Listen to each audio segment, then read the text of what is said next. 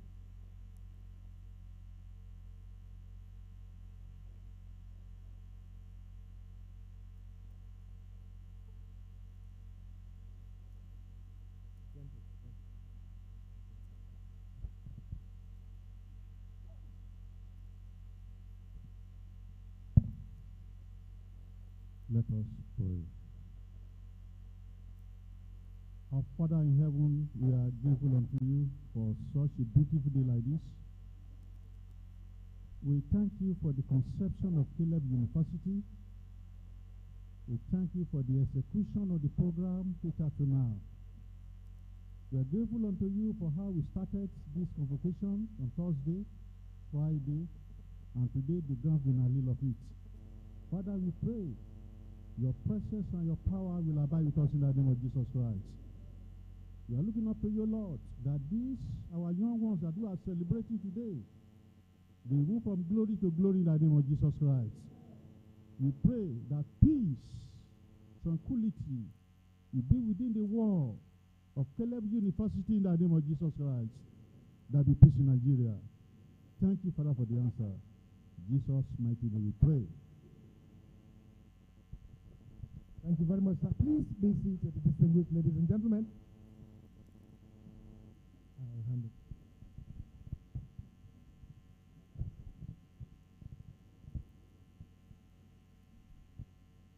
I respectfully invite the visitor, Prince Dr. Oladega Adelowo Adebogun, PhD, DSc Honorary Causa, to address the convocation.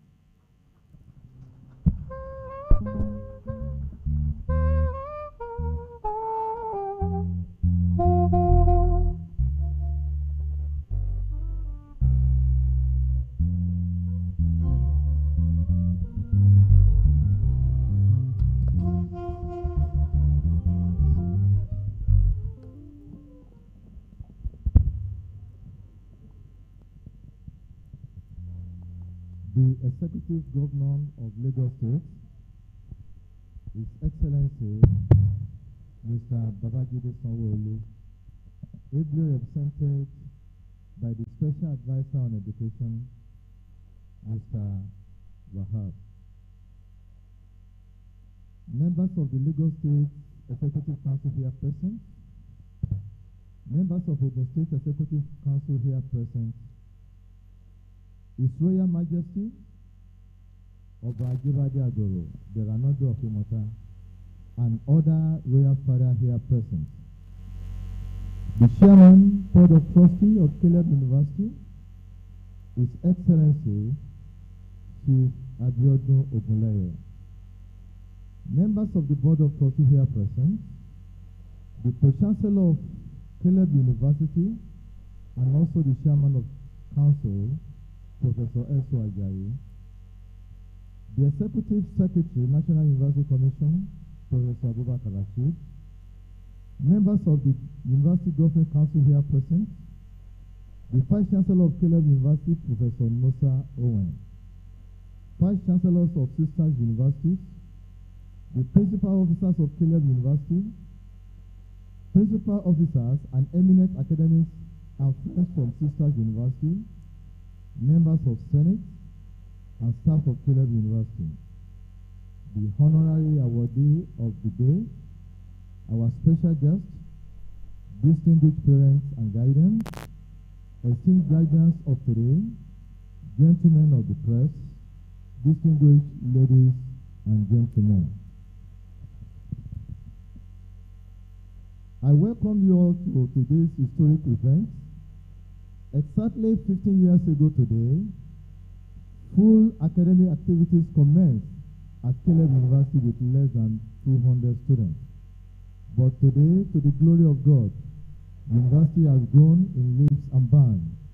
It is only fitting, therefore, as we reflect on the past, to magnify and glorify God, whom through whom we are well able. Through faith in God, Caleb University has successfully molded destiny over the years as we solidly believe in education without corruption. Today's event, the 12th conclusional ceremony, is a further proof to the above assertion. We give all the praise to God in His highest. A lot of resources, human, materials, infrastructure and financial has been expended by the university and also by the parents and guardians to produce today's graduates. whom, by the grace of God, will make a positive impact in this country in the name of Jesus. To all undergraduate and postgraduate graduates, I admonish you to remember all you have learned, which has made you worthy in character and learning. We admonish you to uphold them in all your official undertaking. Make your parents extremely proud and be worthy ambassador of Caleb University. Aspire in all you do to exemplify the qualities of godliness, innovation, service, teamwork, excellence, creativity, and integrity. Values that Caleb University is very passionate about. We implore you to be the different the world is waiting for. And let our world be a better place because of you. I want to especially appreciate all the key stakeholders who have contributed in one way or the other towards the progress of Caleb University.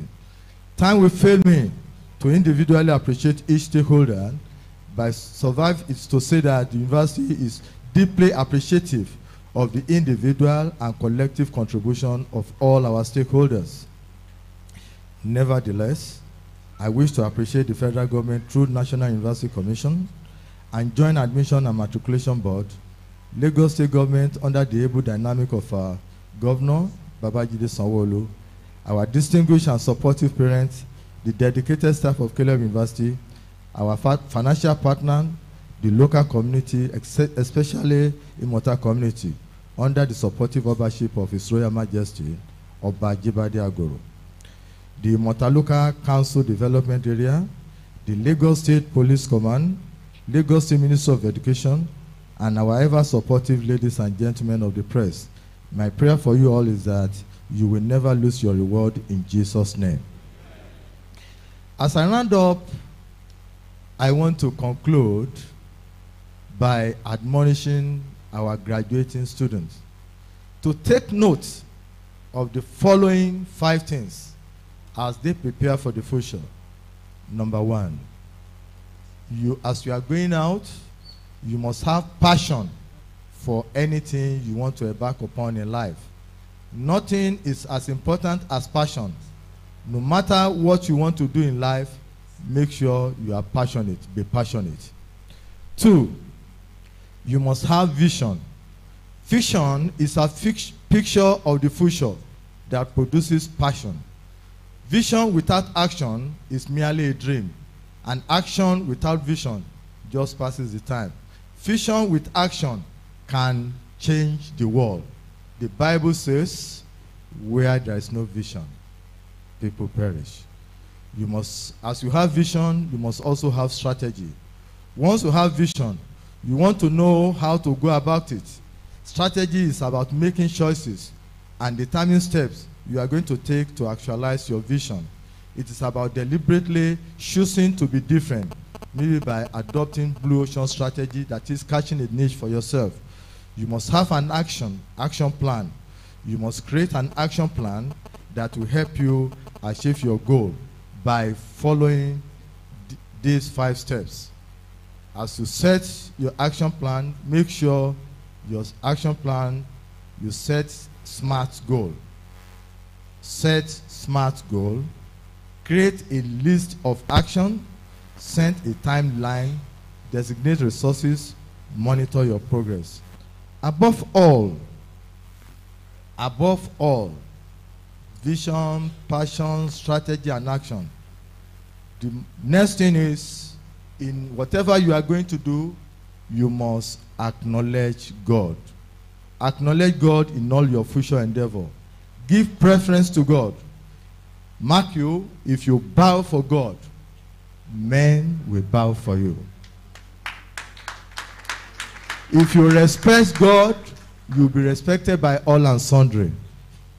Take it serious. Make sure you respect God in all you do. To our dear parents, I want to congratulate you all.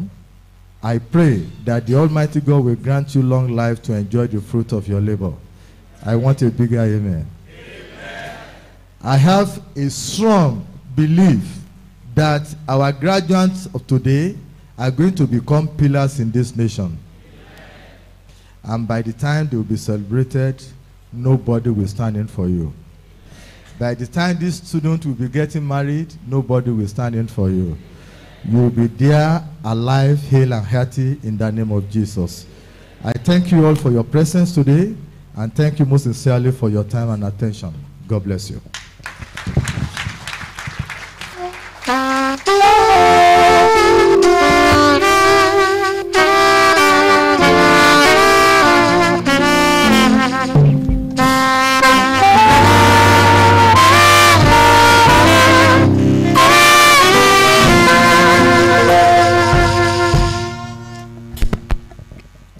Your Excellencies, the proprietor of the university, Your Royal Majesties and Highnesses, the chairman and members of the Board of Trustees, the Chancellor, the Pro-Chancellor and Chairman of Governing Council, members of the Governing Council and of the Senate, my lords spiritual and temporal, distinguished ladies and gentlemen, Section 4, subsection 1E of Caleb University Law 2007 provides that for the purpose of carrying out the objects of the institution, Caleb University shall have powers to hold examinations and award degrees, diplomas, certificates, and other distinctions to persons who have pursued courses of study approved by the university and have satisfied such other requirements as the university may lay down. Section 4, subsection 1F also says that the university shall have powers to grant honorary degrees, fellowships, or other academic titles.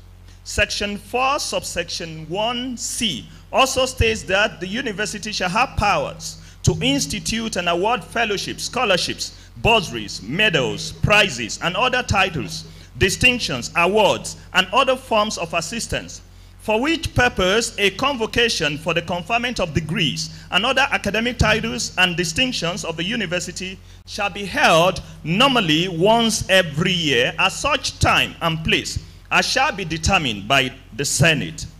The degrees, academic titles, and distinctions shall be conferred by the person presiding. Caleb University Laws, Section 4, subsection 8.1 stipulates that the chancellor shall in relation to the university take precedence over all other members of the university. And when he is present shall preside at all meetings of convocation held for the purpose of conferring degrees. Also the pro-chancellor shall in relation to the university take precedence over all members of the university except the chancellor or vice chancellor when acting as chairman of convocation I hereby call upon the chancellor to constitute this assembly as a congregation for the purpose of conferring honorary degrees, postgraduate degrees and diplomas, first degrees, and presentation of prizes.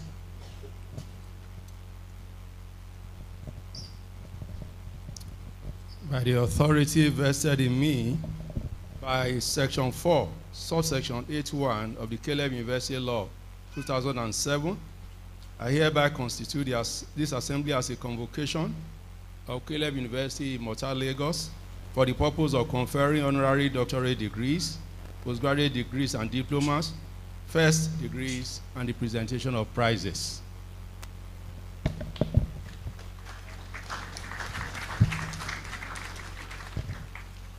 I respectfully invite the Vice Chancellor to address the convocation.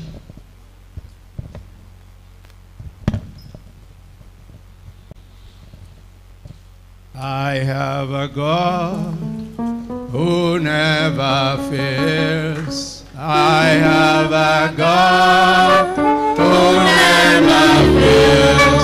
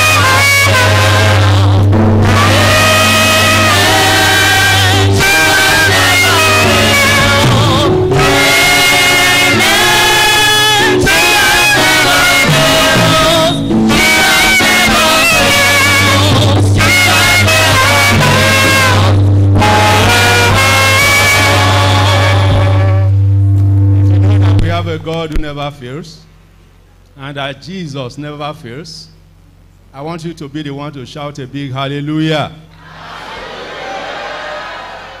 Praise God.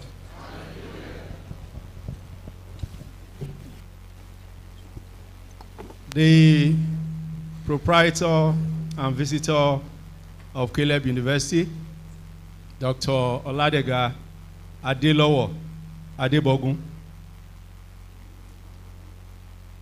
The executive governor of Lagos State, ably represented. The chancellor of Caleb University,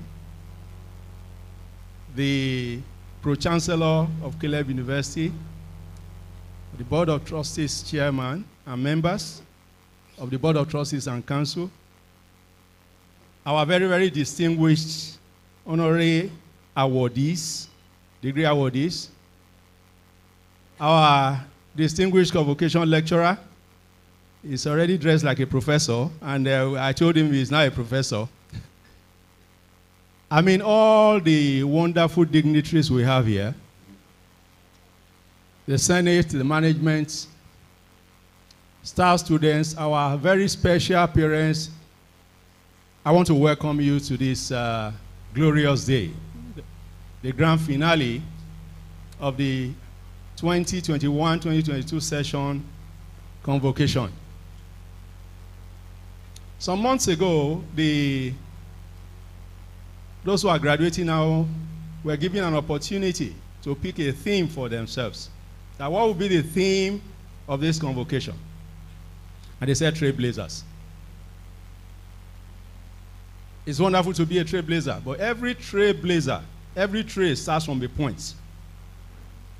But thank God that today you are here as evidence of that trail. And my prayer is that where God is taking you, you will get there in Jesus' name. God has been good to us. He has been faithful. Nothing, there is no word. You know, if we had a thousand tongues individually, it's not enough to praise the Lord. If we look at, it's already 15 years, but within 15 years, starting from that day, January 21st, 2008, when the first set of students came into this university, I mean, it's just been wonderful. And I tell people Caleb University is a mystery. Don't try to understand it. It's just the grace and the mercy of God. Today we are graduating 966 uh, students at both undergraduate and postgraduate levels. Of that number, 32 made a first class. One thing I can tell you is that when you make a first class in Caleb University, you are made a first class. And at the postgraduate level, we have 32 distinctions. So it's 32 32. And in this set, we are having more second class upper degree holders than second class lower. There are 390 second class upper degree holders and 313 second class lower degree holders. So you are very special. And of all of this, the overall best graduating students, Eunice Muyoluwa Osho, had a CGPA of 4.86.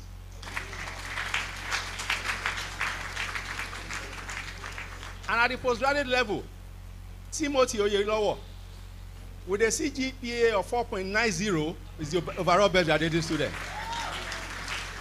Is Timothy here? Timothy, where are you? Oh, that's Timothy Oyelowo. What of Moyin Oluwa Osho? Moyin? Okay. So we, we, we want to thank God. And what are those things that have distinguished us? If you look at the speech, you will see a, a lengthy speech. But I'm not going with the speech because the speech will take us a long time to finish. A lot is happening simultaneously in Caleb University. For those who are graduating today, I mean, some of them were in this school about a month ago, and I'm sure that they are amazed at the transformation that has taken place in this hall. That means you are very special. For the hall to be reconfigured like this because of you means that you are very special. And you remain special in Jesus' name. What are those things that distinguish uh, this particular convocation? This is the first time that we are having convocation for three days in a row. On Thursday, the 19th of January, we had the COPAS and COLES students. Yesterday, we had the CASMAS students. Those are the acronyms we use. CASMAS is College of Arts, Social and Management Sciences. Uh, COLED is College of Education. Uh, COPAS is College of Pure and Applied Sciences. And today, we have COLESMA and the postgraduate uh, students. This is also the first time we are having, following a decision of the Governing Council on June 17 this year, the convocation happening on the Founders' Day.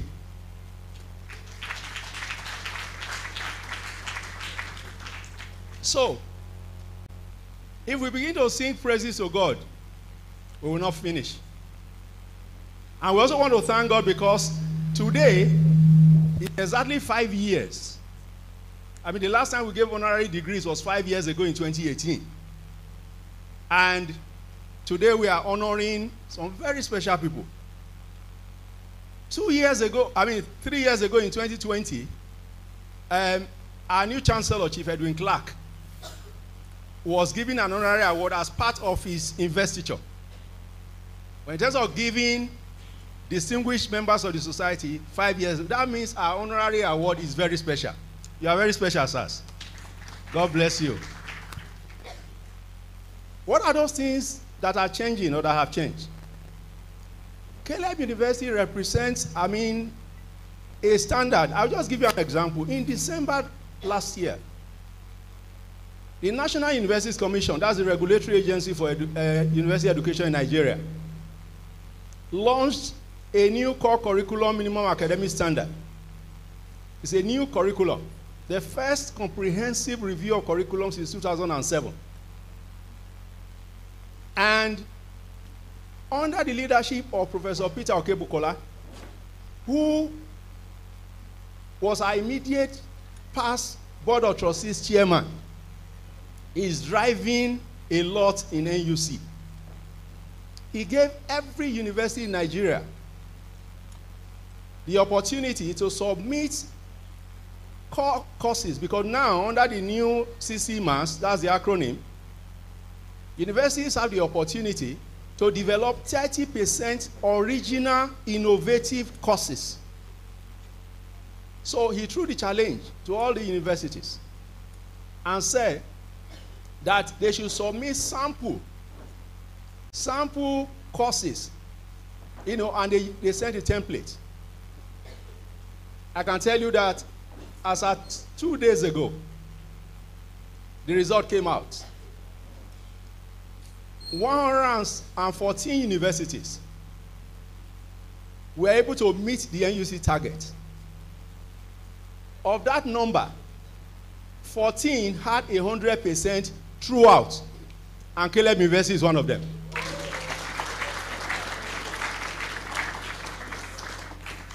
This is one university where all our courses all our programs are fully accredited. All of them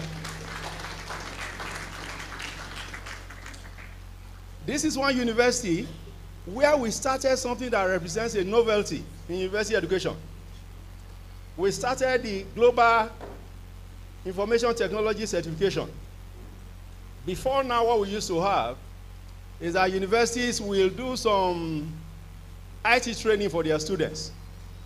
And you had training organizations. We said no. In this place we want the certification that will be recognized in Switzerland in Moldova in Canada That's the one we wanted. And we started. I can tell you that at every level of education, undergraduate education in Caleb University, we have IT certification. You must have an IT certification. To further drive that, we now have a working collaboration because we started CUA Technologies. We started working collaboration with CompTIA. CompTIA is a globally recognized IT uh, entity. And so we have, under the CUL, started, you know, uh, training all our 100 level students. And you know what? God has been good to us. For the first time in the history of Caleb University, I just said I should digress and mention that.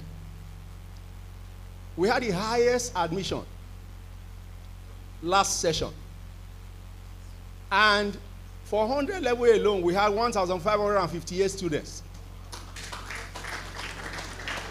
And with that statistics, because there's something we call JAM policy meeting.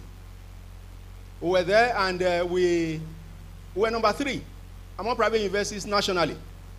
That is last year. You want me to give you a secret? You like secrets? It's not gossip, oh, it's real. This year, we already have gone beyond that. We have not done our matriculation, but we have over 2,000 students already. So God has been good to us. So we've started the global IT certification, and uh,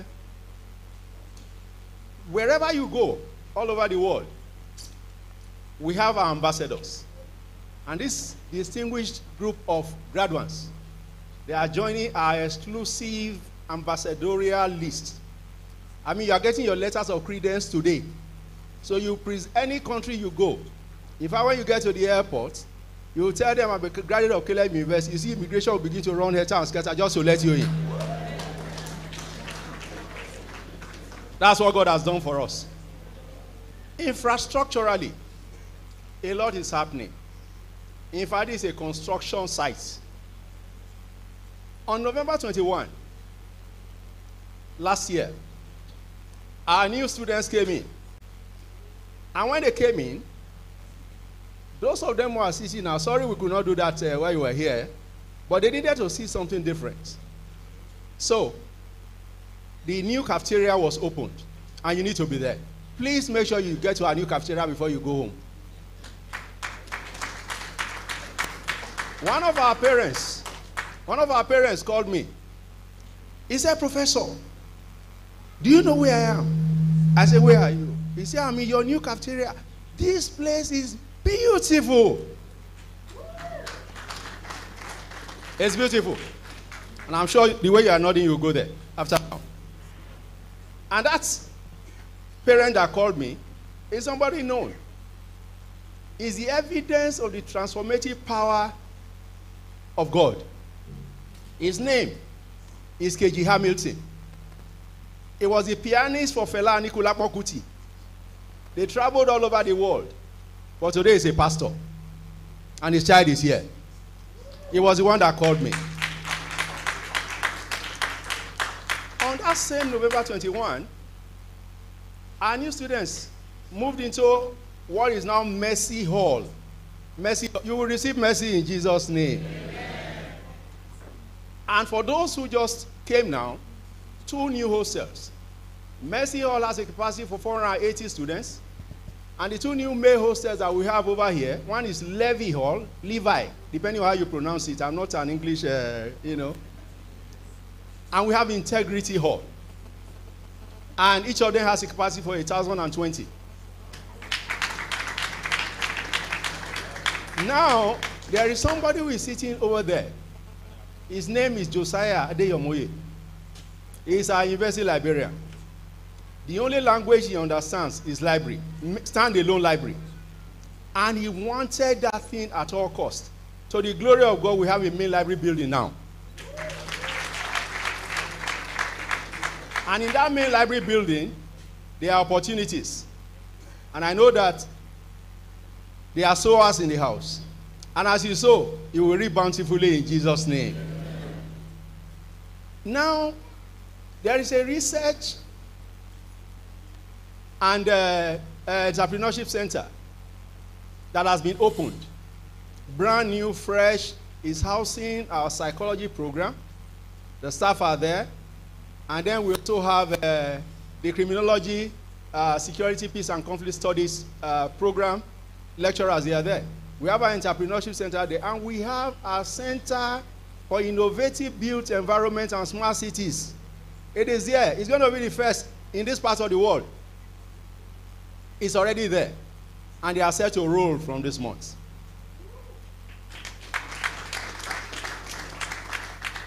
So, what are the uh, areas? Because I know that there are many blessed. How many of you are blessed? You know, who are here, you are blessed. You know you are blessed. Let me see your hand.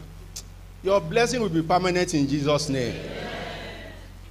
There are issues. I mean, a lot is going on. Academically, we are not, you know, I just gave you an example about how we scored 100% on all fronts. And the lecturer, I've not seen her now, the one that she, is a she, that um, supported that process under the director of academic planning is a lady called Dr. Chinyere Ezianya Bapa. That submission to NUC. I mean, they could not find anything. They just said excellent. That was what they wrote in front of Caleb University. So, but there are, or there is room for partnership. When you were coming to the campus this morning, I'm sure you saw that the road is a little in need of some slight adjustment. And uh, we want to, we believe that the presence of the governor of Lagos State is, is a plus for us and is ably represented. And the way he's smiling now, I know that good tidings have come our way. And very soon, that road will become an expressway. Computer science is our fastest growing program, to speak. And uh, among our new intakes, they are by a quarter.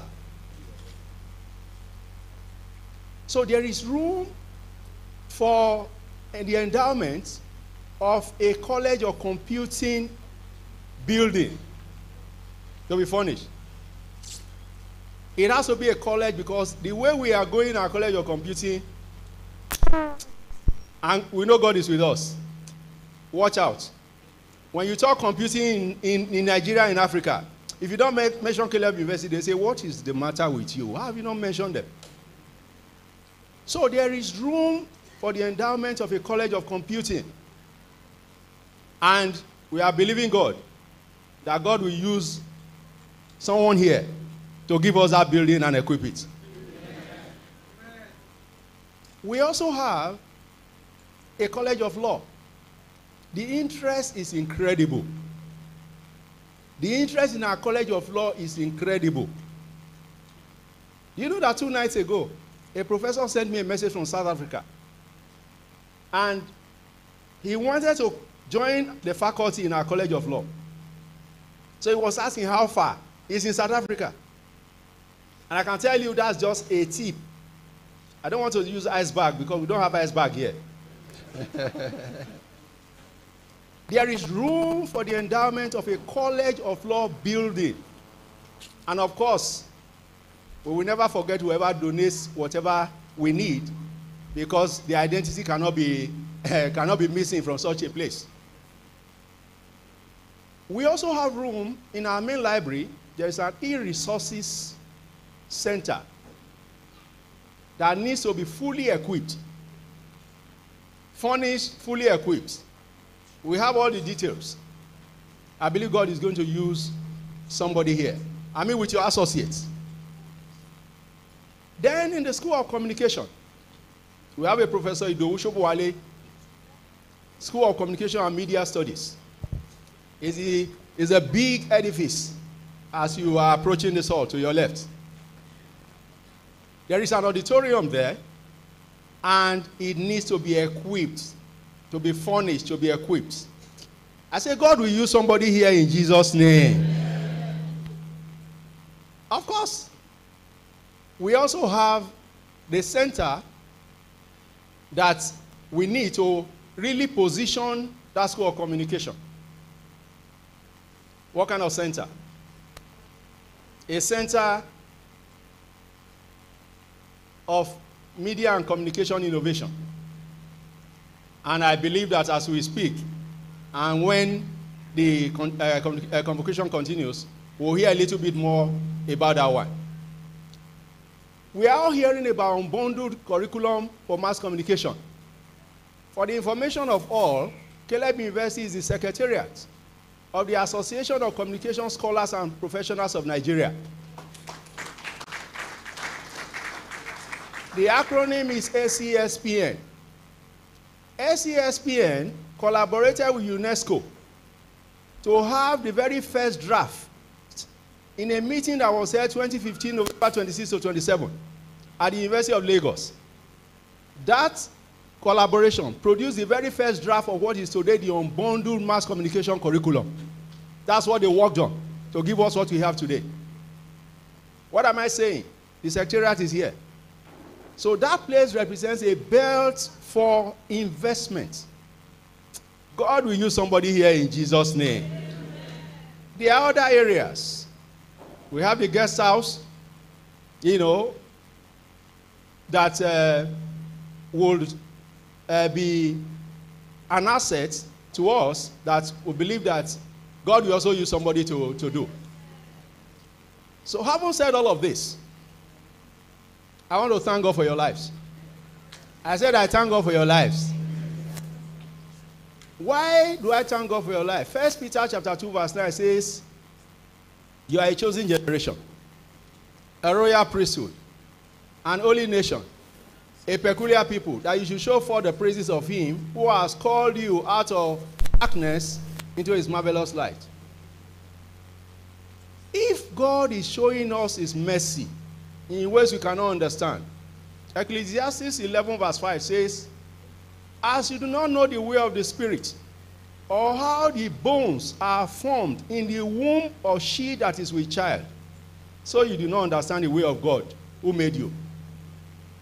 So you are a sign and wonder, and God has given you a privilege. But as we were saying yesterday, Romans 8:31 says, If God be for us, who can be against us? If God is for you, the world, the entire world cannot stop you. But if God is not for you, even a feather can stop you. So we need to prioritize God.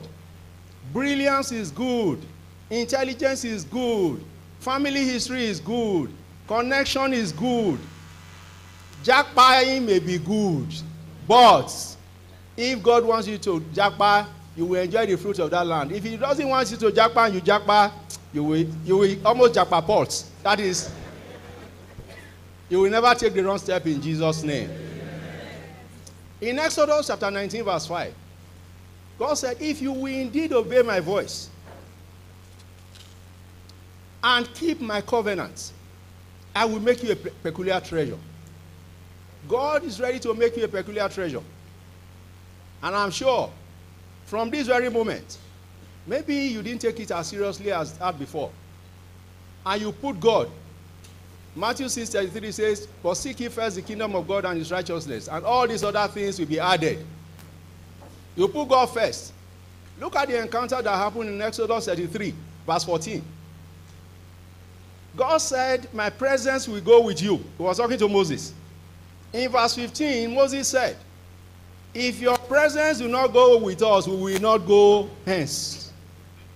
That should be your determination.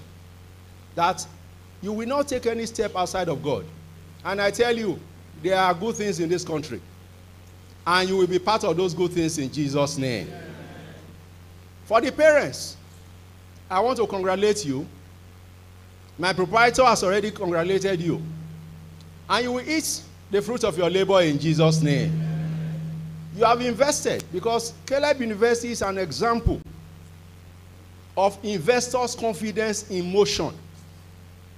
You have invested in Caleb University, you brought your children here.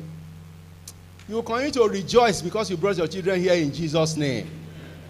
In September, Our overall best graduating student in 2020 called me from the UK. His name is Goshen Miteo. Goshen won a Commonwealth scholarship and is in the UK now on a master's degree on Commonwealth scholarship. He was simultaneously given a PhD scholarship in the US and he told them to hold on, let him finish the Commonwealth one first. That's the stock Caleb is made of. And I'm sure that those who are still students here, they will determine that they are going to be up front and that they will never lag behind. I want to congratulate you parents, our dear parents. And I want to once again appreciate appreci- appreciation to our proprietor who has been there for us. He's always been there for us. And our prayer is that God will continue to keep you, protect you, and help you all the way in Jesus' name. Just some, some two weeks ago, our highly revered Board of Trustees chairman still went on an assignment. I had to go with him. That is the kind of passion driving all of those who are supporting Caleb University. God will bless you, sir. You will continue to grow stronger and stronger, sir. Our pro chancellor, I cannot thank you enough. I mean, God will continue to grant you wisdom to lead us aright and bless your family in Jesus' name. Well, I, I don't know what, I can't see anything, but when the citation time comes, they will say a lot about you. And uh, I only got to see uh, Dr. John Momo after a very long time when we visited uh, channels. Uh, we were together in Unilag 1979. It's been a long way. But we give God the glory that you are here. And uh, when uh, Mr. Lake saw me, ah, you, you know, it's a very small world. I want to congratulate you once again. The future has started, and the future is Caleb. God bless you.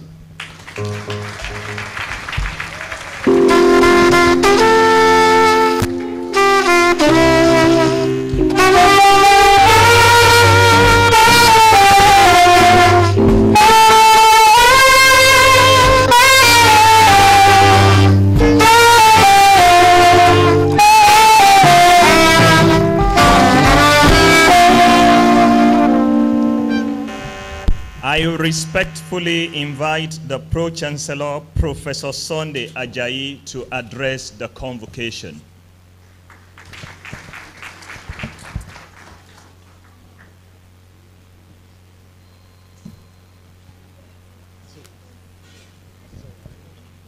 Praise the Lord.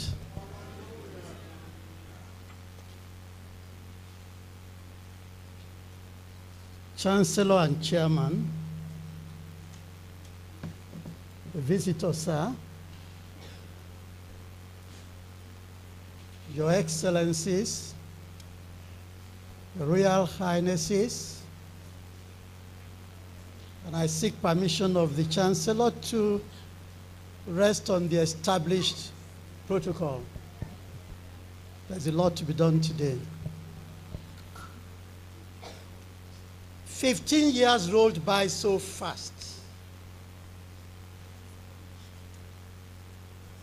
And by God's special grace, we've not been celebrating Founders' Day, but on the 15th year, a new trend has started. We are celebrating Founders' Day. Because of that, I want to congratulate our founder, who is here in person, and thank God for his life. What we have seen of Caleb University, whether in terms of infrastructure or the unseen God planted in the children who graduate from here. All of these together were dreams of Crown Prince Oladega Adelowo Adebogun.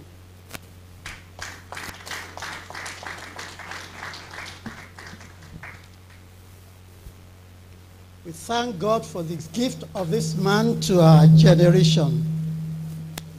And we pray that what the Lord has deposited in him to do for this generation, he will conclude successfully in Jesus' name. We are gathered also to celebrate the 12th annual convocation of Caleb University. The 12 have, have run consecutively without any break. This is the 12th celebration. I welcome all of you as you join us in celebrating our double honors. For making this event possible in a glorious and very joyful manner, we give thanks to God and bless his holy name. For the Lord has been good to us. His unfailing love has been over us, and we are confident that his faithfulness will continue with us for all times. Praise and adoration are due to him and him only.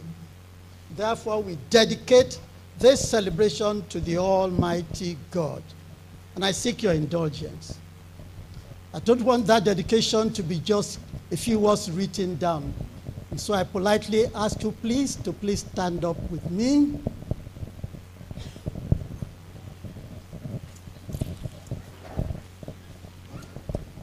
Let us together bow down in worship and say, Lord, we worship you. And may his name be forever exalted in Jesus' name. Please be seated. Council seizes this opportunity to congratulate all members of Caleb University family, those whom God has used so far to make the Caleb University project a huge success. Indeed, it's a huge success. If you were there at the beginning, and if you now see what has happened, you will know that it's a huge success. Time does not permit me to list all those whom God has used so far to build this university. I'll seek your permission to mention just a few symbolically. And the first in line is the visionary Dr. Oladega Adelowo Adebogun. Like I said, this campus, which we see becoming more and more beautiful as the year rolls by, was formed in his dream.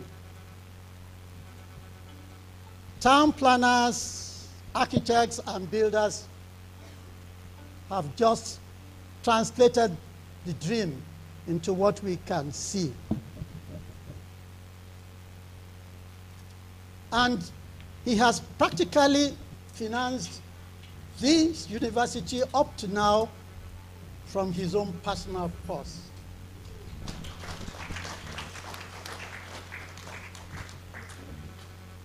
There is no way one will run this gigantic project and not have difficult moments. He has solidly borne the frustration associated with building this. Council rejoices with him because of what God has done in these 15 years. But then permit me to ask all of us again to put our hands together and honor God in the life of our visitors. The grace of God will never depart from you in Jesus' name.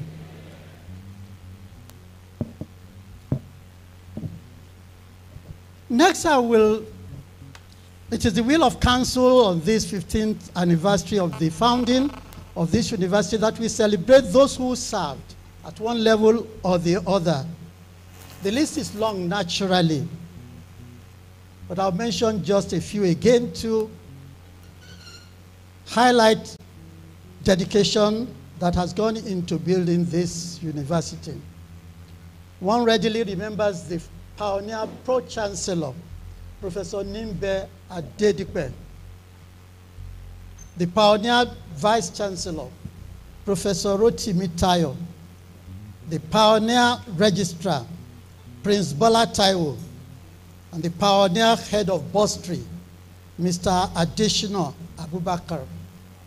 Additional Abubakar started as a senior accountant, and he rose through the rank, and today is the bursar of the university.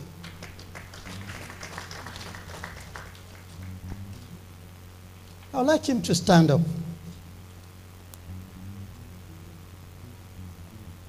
Because he has held this vital position, please stand up. He has held this vital position with untainted integrity. 15 full years.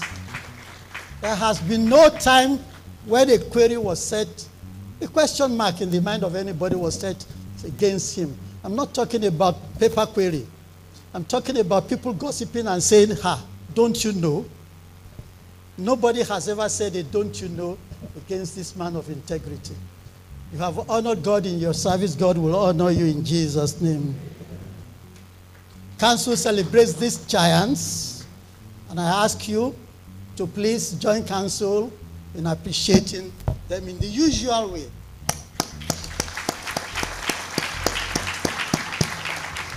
Thank you. Last for mention in this list of people who have worked here, but definitely not the least, is our current Bale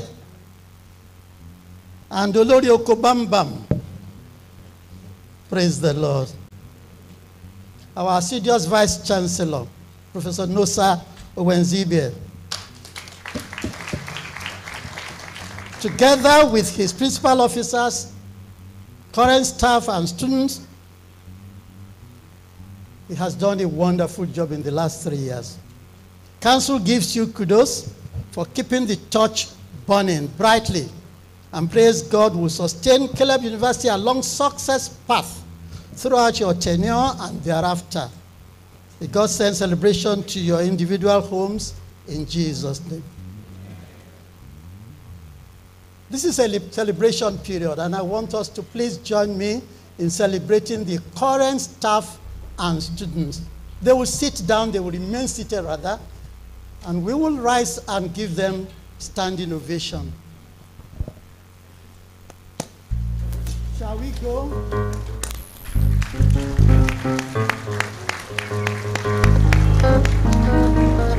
Thank you. Chancellor, sir, these graduates seated before you, waiting for you to graciously admit them into the distinguished company of graduates of Caleb University are the major reason today, or rather the second reason we are celebrating today. Graduates, Council felicitates with you.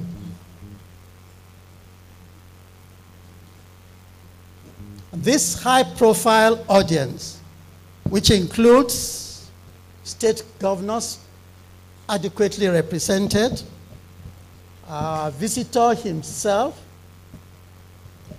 your own parents, very distinguished ladies and gentlemen, including royal fathers, are gathered here to convocate on your behalf. You have worked very hard to earn the prestigious degrees of Caleb University Imota, Lagos. And you are here today receiving your hard-earned certificates. Congratulations.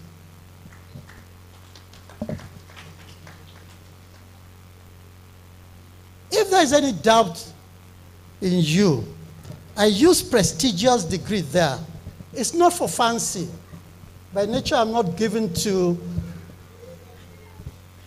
unnecessary praise. Your degree is highly worthy. And I want to cite a personal experience that supports this. I used to be here as a dean in one of the colleges, College of Pure and Applied Sciences. And naturally, I wrote references for quite a number of people.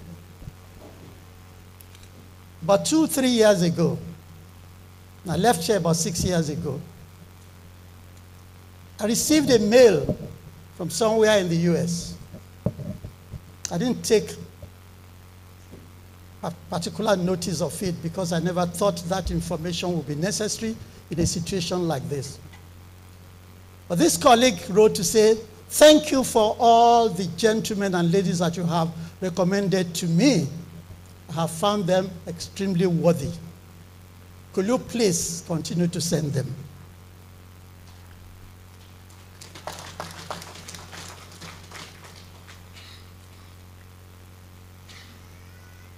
I was pleased that our products here have international standing.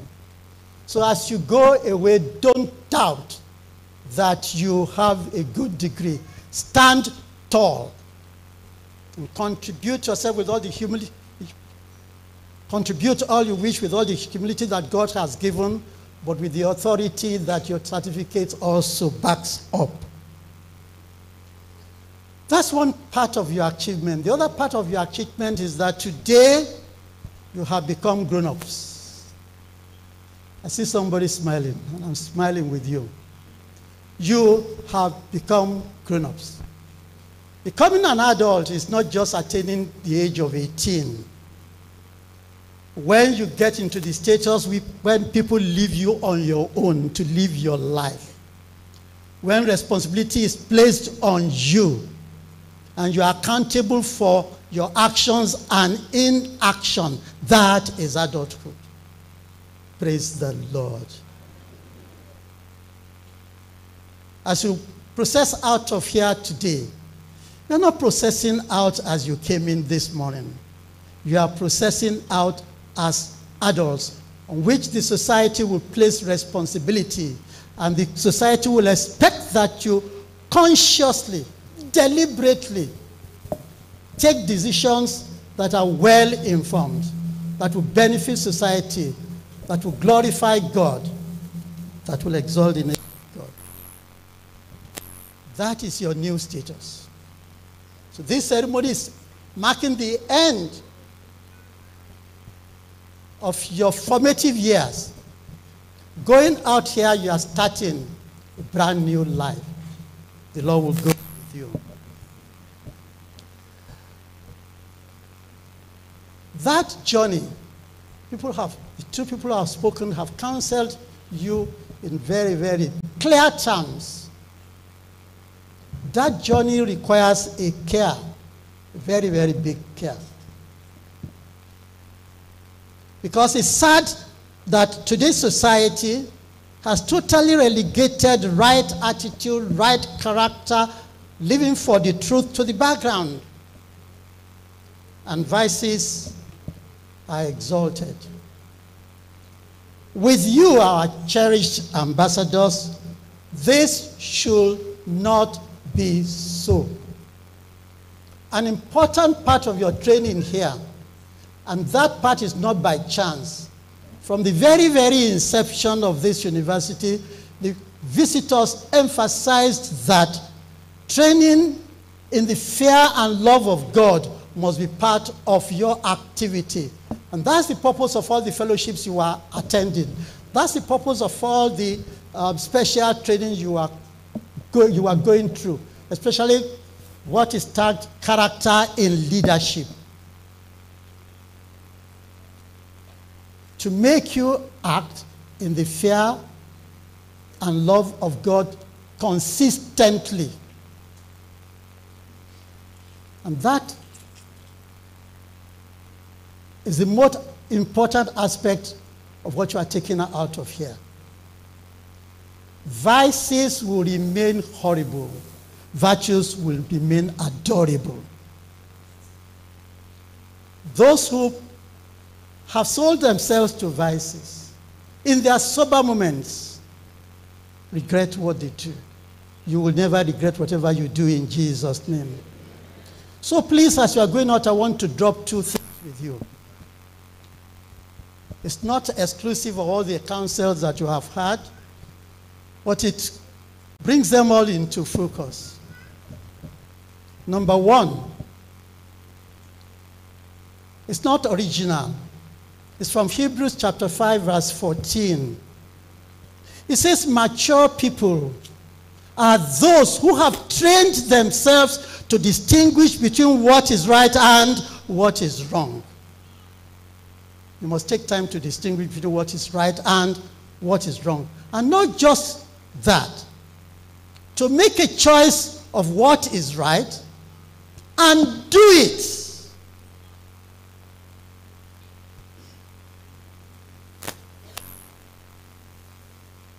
If you forget any other thing that has been shared with you, please don't forget that. You are a mature human being. You are a responsible human being. You are a tool in the hands of your Creator. If you learn to distinguish between what is right and what is wrong, choose the right to do and do it. And the Lord will empower you so to do in Jesus' name. And to back that up, when you are setting goals, when you are performing, uh, celebrating yourself, or doing whatever you are doing, please take with you the counsel of Apostle Paul. In Philippians chapter 4, verse 8 and verse 9, he says this. I'm quoting him, not me. Fix your thoughts on what is true and honorable and right.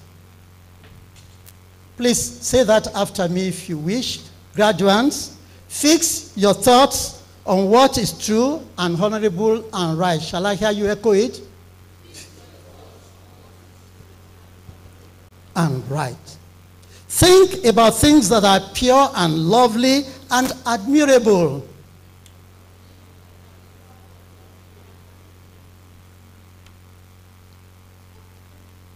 Think about things that are excellent and worthy of praise.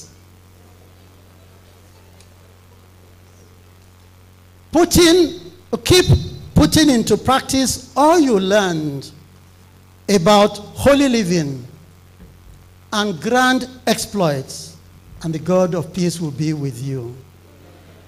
And the God of peace will be with you. That's my take home pay for you a take home package for you.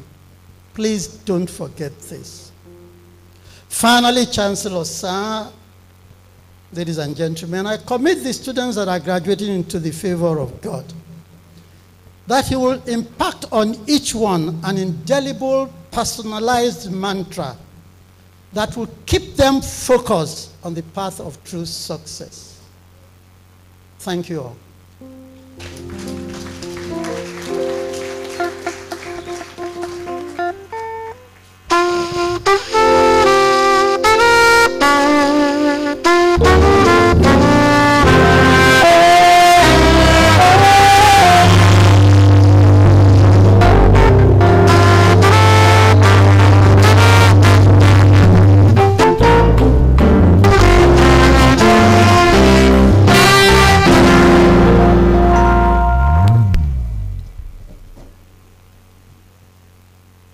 Have a brief musical interlude now before the Board of Trustees Chairman's um, address to the convocation. Thank you.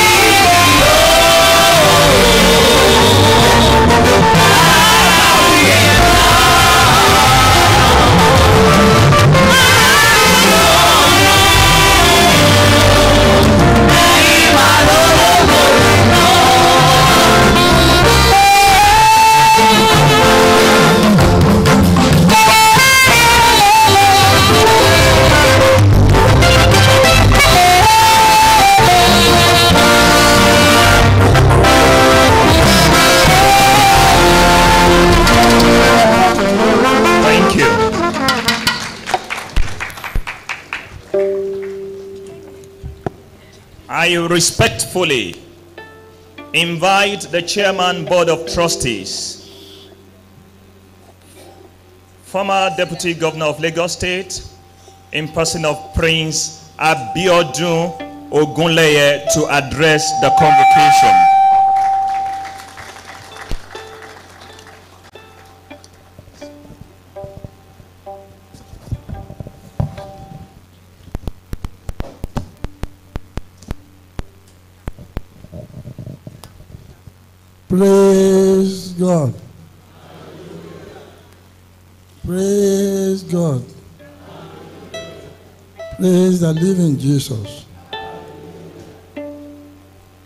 Let me start my recognition with His Excellency, the Executive Governor of Lagos State, Mr. Babajide Olusola Sanwo-Olu, ably represented by the Special Advisor Education.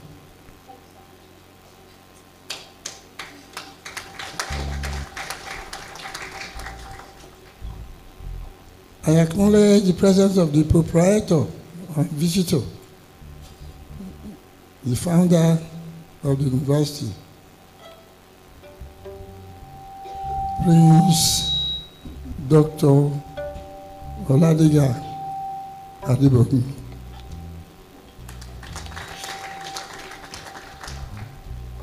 A man of expe- exceptional humility. A man who makes what he does speak for him. The man who does not throw his weight about, except the weight that you see from the achievements that he has made. May the Lord continue to be with you. Let me go on with the, the chancellor and the chairman of the governing council.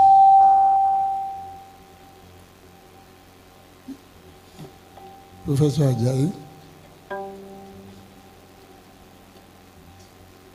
the vice chancellor, and all members of the council who are present.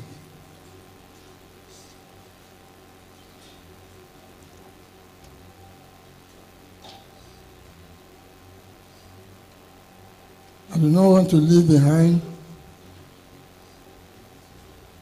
my colleague here. I heard you will be here. You belong to a vocation, a movement that some of you may know. I won't say Mister, I will say Chief Dele Alake. You're welcome here.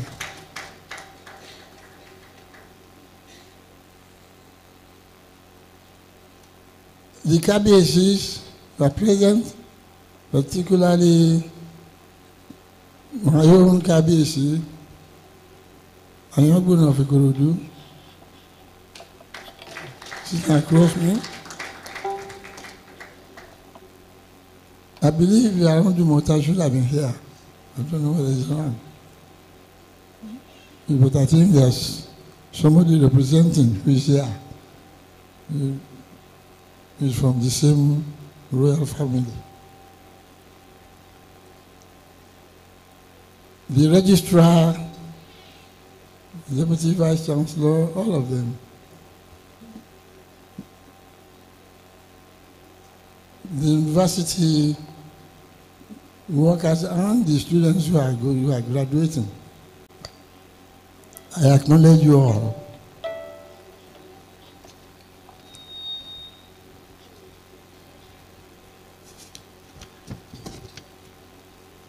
Today is another glorious day in the life of our institution, Caleb, Caleb University, Imota, Lagos State.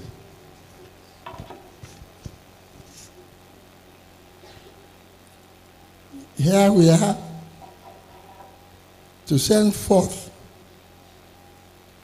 our graduating class of 2022 a sort of well prepared young adults who are destined to impact our nation and continent positively. I am excited because these young ones have been tutored not only to become academic and professional giants, but are well equipped with the morals needed in the transformation of our society. On behalf of the proprietor and distinguished members of our Board of Trustees, I welcome you here today. We use opportunities like this to affirm our commitment to the Caleb University, to see Caleb University continue to shine among the community of progressive universities in Nigeria, in particular, and Africa, and the world at large.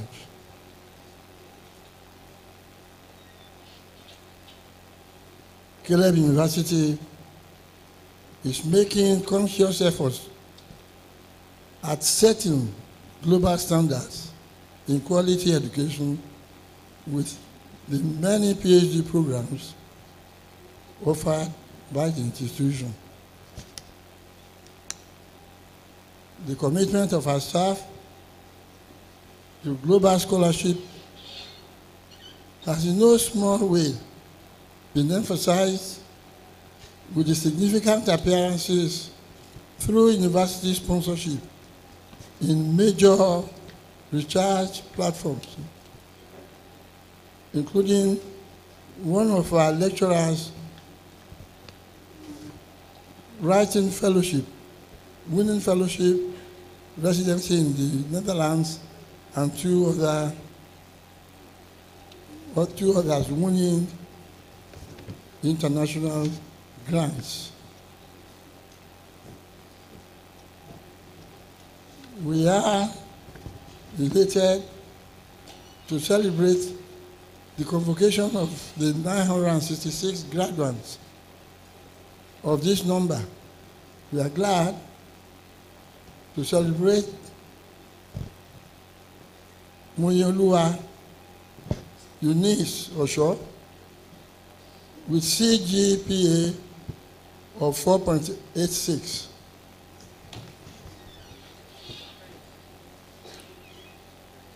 Recall that Jesri Ijei Iradia was the best through the last convocation with the CGPA of 4.92.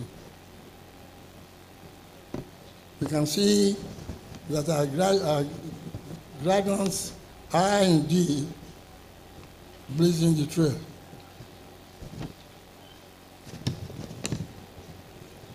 We must commend our parents for preparing for partnership, for part- partnering with the management of the Caleb University in this unique project of molding the future of our world. It was because you chose Caleb University that your words have now become the graduates we are celebrating today. We appreciate your trust in our system. We also want to appreciate the National Universities Commission, NUC, for providing the enabling environment where Caleb University and other leading institutions in Nigeria are making the needed impact.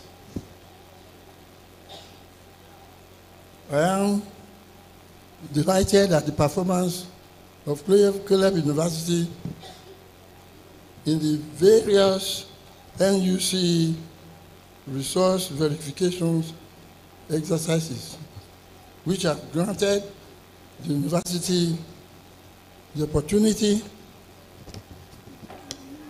to run programs that catch up with the essence of contem contemporary humanity. At this point, we must appreciate, in particular, the role played by the proprietor, visitor, and founder, Dr.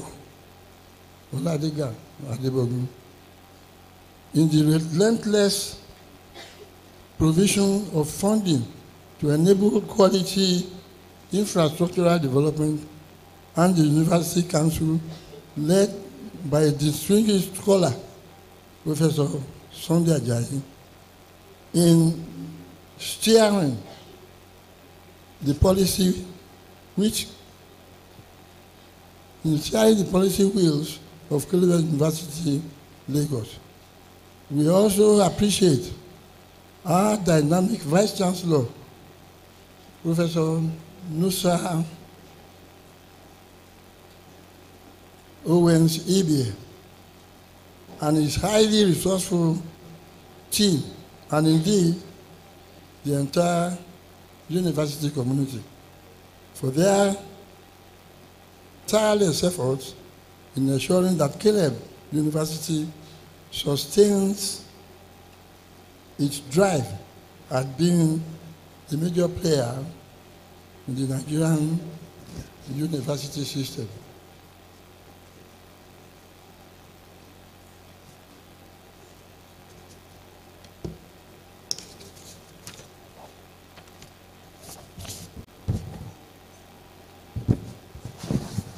Ending my address, let me leave the graduating class of 2022 with some words of encouragement.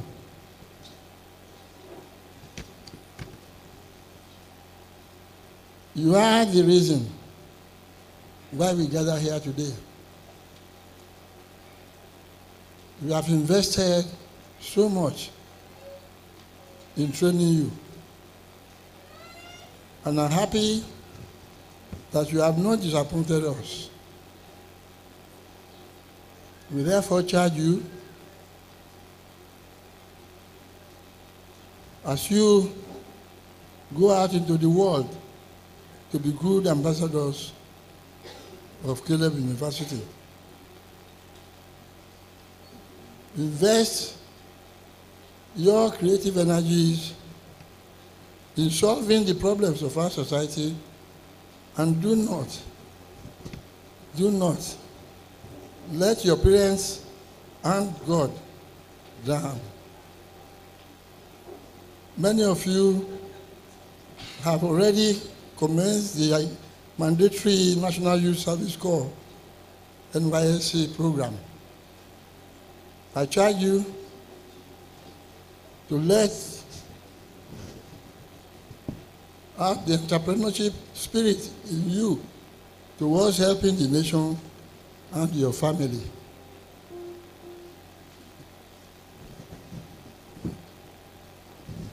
Stick to the noble ideals and core values of Caleb University, which include godliness,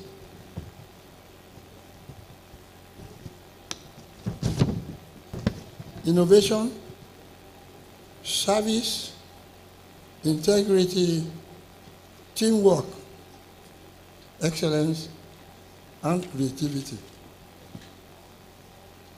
I join everyone here present today to felicitate with you and wish well in the journey of life.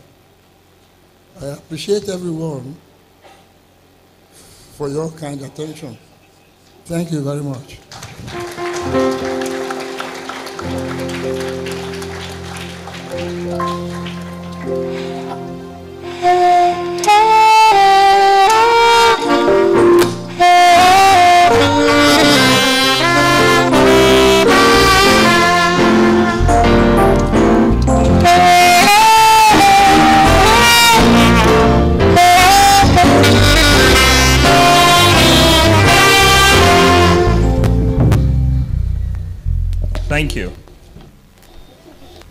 Ladies and gentlemen, permit me to recognize the presence of the Ayangburen of Ikorodu, Oba, His Royal Majesty Oba Kabiru Adewale Shotobi.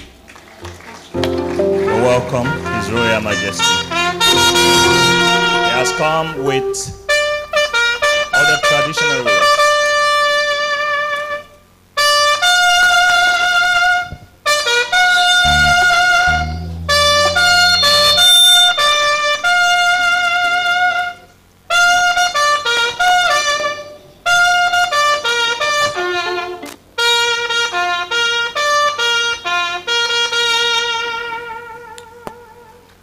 Thank you. We also have Mr. Wahid Adeniro Kasal, Permanent Secretary, the Office of the Special Advisor on Education here, representing the interest of the governor as well.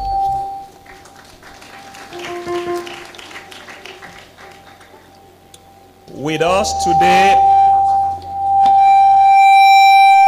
is someone who is dear to us. He's also our parent.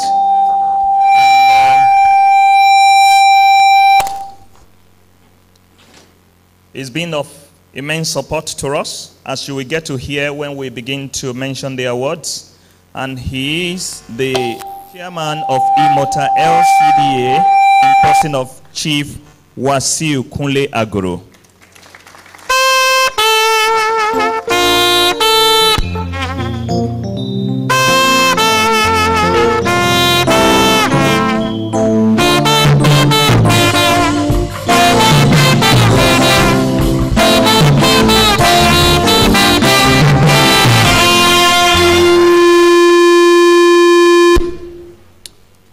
Us today is a special guest amongst us in person of Louis Odion, Senior Technical Assistant on Media to the President. You're welcome, sir.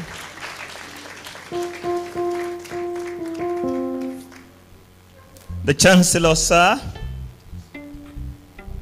I want to invite the convocation lecturer, Founders Day lecturer as well, in person of Mr.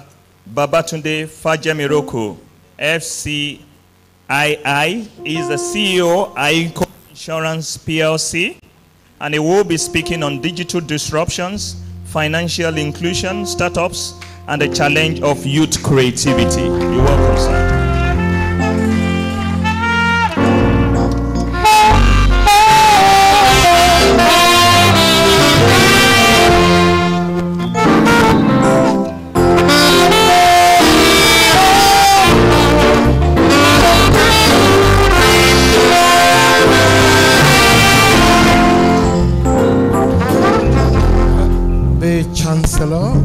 Protocols duly observed as earlier established. It's my pleasure to give this brief citation of Mr. Babatunde Fajemirokun, FCII, the CEO Managing Director of AIICO Insurance.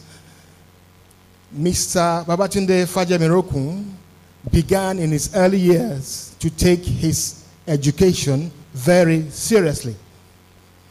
He knew that for him to pursue any useful career in life, obtaining the right and functional kind of education was key.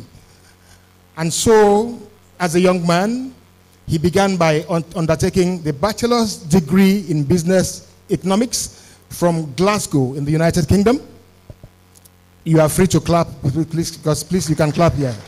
Yes, he proceeded to enroll for an MBA program in finance as uh, the emphasis at the Booth School of Business of the University of Chicago. That's number two. He did not stop there. He went ahead to register for the master's program in business information technology systems at the University of Strathclyde in the United Kingdom. And he emerged from that program with a distinction. His career takeoff is a little bit interesting and familiar, and you will find out why. In 2001, he worked as a visiting lecturer in the Division of Economics and Enterprise at the Glasgow Caledonian University for two years. He decided to stop that suddenly for reasons best known to him. It is possible that he discovered that academia would not pay as much as industry. But then he moved on, and very quickly in 2003, he joined he joined Accenture Financial Services as an analyst. He would later show preference for mergers and acquisitions. He moved on further on. After five years, precisely in 2008, he left Accenture for Cap Gemini Consulting, sir, in the UK. And his focus and task was to transform the UK government projects for success and greater glory. And it is recorded that he performed extraordinarily well on that call. Put your hands together for him. All this while, Tunde, as is fondly called, tried, like any responsible young man, to establish a career and grow his way up the ladder. Hardly did he know, at this point in time, that sooner than later, he would be wearing the cap of the CEO, Managing Director AIICO Insurance PLC. As it were, destiny was carefully leading him along the way without a modicum of confusion, but he did not realize it. It was not until 2009 that Tunde joined AIICO Insurance PLC as Chief Information Officer. With his international background and experience, he set out to distinguish himself creditably. He found himself executing some value enhancing projects within the organization, and he rose quickly to the position of Chief Operating Officer in 2013. From here on, he moved up to occupy the position of Chief Business Officer, a position he held until his appointment as Managing Director CEO in 2019. His effective growth strategy, as well as rewarding business plans, have strengthened brand value over time. This is also this has also led to stronger competitiveness within the industry itself. The Chancellor, distinguished ladies and gentlemen, maybe I should add that Mr. Tunde Fajemirokun's business empire does not begin and end with AIICO Insurance PLC. He is simultaneously a non-executive director of Food Concepts PLC, a board director at Xerox Corporation, and so on and so forth. Our esteemed convocation lecturer is a fellow of the Nigeria of the Society of Underwriting Professionals and the Chartered Institute of Insurance UK. He is therefore undoubtedly a thoroughbred chartered insurer. He is happily married and blessed with children. The Chancellor, sir, let me proudly present to you a veritable professional, an exemplary gentleman indeed, a mover and shaker in the industry, and without doubt, a tiger in his own chosen area. Please welcome the convocation lecturer for his lecture.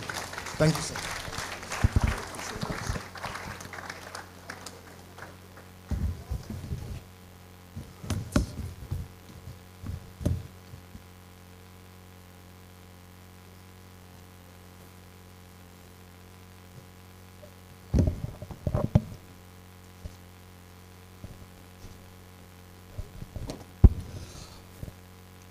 Good morning. Your Excellencies, Executive Governor of Lagos State, ably represented by the Special Advisor of Education, the proprietor of the university, the Royal Majesties and Highnesses present, the Chairman and members of the Board of Trustees,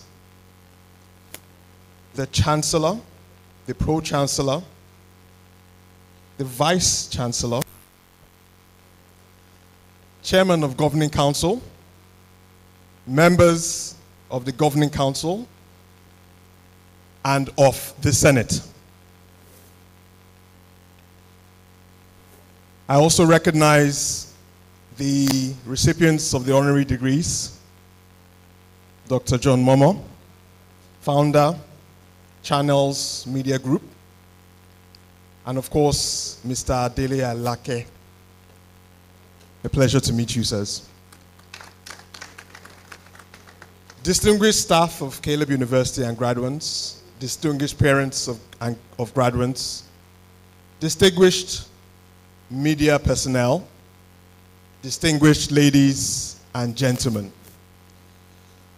My topic today is digital disruptions, financial inclusion, startups, and the challenge of youth creativity.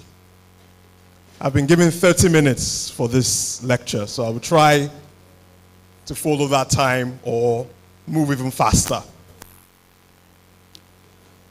Ladies and gentlemen, I am deeply honored uh, to be here for your graduation from one of the finest institutions of higher learning in Nigeria today. In coming with a topic to discuss with you, I wanted to touch on something that is topical to the Nigerian experience. As I thought more about it, I asked myself, where else should I start but with the people before me today? And so I will start with what I believe that the youth of a nation you all represent. There is a reason that the potential of a country is usually captured in the youthfulness of its population. Young people represent vitality, energy, and endless possibility. In many cases, they are the forefront of new innovations simply because they are relatively more open to change. As a result, a lot of creativity that drives economic growth over time, a key component of the political stability of the nation, comes from the youth. Consequently, when there are no avenues or opportunities to express this creativity, the result is often political instability, which can take many forms.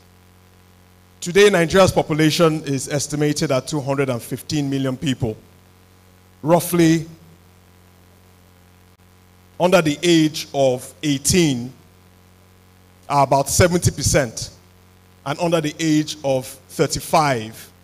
If I look at AIICO insurance, the median or the mean age is closer to 30. With youth unemployment at about 40%, there are clearly not enough opportunities for young people in Nigeria. This is the result of insufficient investments in infrastructure that encourages production, consumption, and creates employment. As of today, Nigeria's infrastructure deficit is about 3 trillion, meaning that the country will require investments in infrastructure of about 100 billion yearly for the next 30 years. Nigeria has clear and present challenges which can only be solved by government leading from the front in conjunction with the private sector to accelerate growth. Innovation is critical to unlocking Nigeria's economic potential. We cannot afford to rely on old technologies to catch up with the rest of the world. We will have to embrace new technologies to solve our pressing problems. Because of the sheer amount of innovation that has occurred in the past 20 years, it is often easy to forget that a lot of growth and development over the centuries, both economic and social, have had a lot to do with the gradual and often changes in technology and how they affected our lives. For example, the Romans pioneered the roads, which were the foundation of our organizational capacity that underpinned the Roman Empire. The Industrial Revolution between the 1700s and the early 1900s had significant effects on the participation of women and minorities in the workforce, increasing labor participation and economic growth. These eras were all characterized by innovations that were revolutionary in their time. Over the last 20 years, however, the rate of innovation has been rapid, leading to significant changes in the way that people transact, connect, and consume. Here are some examples. In 1998, Google made information accessible. For some people here, that's all they actually know. For many of the people here, they know a time before Google. Two young men were working in a garage with an ambition to organize the, the world's information, and oh boy, they succeeded. As Google became a phenomenon, it made information accessible. In, tw- in 2004, Facebook enabled the power of people. What started as a quirky project ended up building momentum in colleges and eventually transformed the way people connected digitally. Facebook, with the power of people, inspired many connections and transformations. Int- introduced the concept of social in every product, thereby allowing people to become or come together digitally. Of course, we all know about Apple. Launched the iPhone, mobile computing, and connections became ubiquitous. Apple also launched the Apple Store platform that, of course, allows anyone to sell and reach people at scale. We all know what has happened with Uber, connecting drivers and users without actually having any inventory. There's a common thread with these examples the use of technology. However, technology is not really the point. The point was they were all solving a problem. Google organized previously amorphous information on the internet. Its algorithm was just much better than other search engines at the time. Apple, through its iPhone, which was not the first smartphone, created a device that connected users to developers in a way that established players had not at the time. I can go on and on. In each of these industries, there were already established dominant players. So there's a chance for each and every one of you. In search, there was already Yahoo. In social media, there was MySpace. In telephony, there was Blackberry and Nokia. Who remembers the Nokia 3310? In transportation, there were traditional taxi cabs. These traditional players were comfortable and had arguably lost the view of their most important stakeholder, their customers. If you look deeper, you will see that another thread runs through these examples convenience. Each of these solutions made the customers' lives easier. In such a fast paced world, people will flock to solutions that make their lives easier. This is what lies at the heart of disruptive innovations. On startups in Nigeria, the 2010s were significant. With innovations, especially in the financial technology or fintech space, revolutionizing the way Nigerians made transactions and supercharging economic activity. This was the decade of the startup in Nigeria. In recent years, the Nigerian startup ecosystem has seen significant growth, with many new companies entering the market and providing innovative solutions to various challenges. These startups are playing a crucial role in driving economic growth, creating jobs, and promoting entrepreneurship in this country. As of 2022, Nigerian startups employ a combined total of over 20,000 people. the highest on the continent. The fintech space accounts for almost half of this with about 9,000 jobs. It helps that this period was characterized by globally low interest rates, which increased access to funding for these startups. In the absence of these funds, startup funds would have been restricted to traditional sources of funding like banks, which could be prohibitively more expensive and impatient. Equity capital, unlike debt, is more suitable for early stage companies, enabling them to focus on the investments they made to accelerate growth. Between 2015 and 2022, 383 startups in Nigeria raised over $2 billion, more than doubling the amounts raised in South Africa and Egypt in the period. This speaks to the investors' expectations of the Nigerian market and the economy in the short to medium term. This is despite all the issues we currently face in the nation. These expectations are driven by Nigeria's favorable demographics, particularly its youthful population. The rapid developments in technology that spurred these innovations in the West also had a similar impact here. Over the last 10 years or so, we have seen technologies fundamentally change the way financial services and commerce are carried out in Nigeria, with startups like Paystack, Flutterwave, PiggyVest, using technology to provide digital payment solutions. My hope is that graduates from Caleb would also foster this in the near future. The digital payment solutions open up so many opportunities to create economic activity and support e commerce across Nigeria. Other startups like Jumia, Konga, Mall of Africa have leveraged these solutions to reduce the friction involved in making transactions. Of course, the global landscape has changed, especially in the last couple of years. We've had COVID, we've had the pandemic, and especially in the last one year, global inflation has gone up. In Nigeria, it's about 22%, and has forced central banks to increase benchmark rates to reduce spending and curb inflation. As a result, capital has become more expensive, with investors increasingly moving focus from growth to profitability. Businesses that seek capital today must have a well defined path to cash flow positive status before raising capital. So, for those of you looking to open businesses in the digital space, please take cognizance of the changes in the valuation assumptions. I expect that this will affect the startup ecosystem in Nigeria, but it doesn't change the investment premise. Coming to financial inclusion.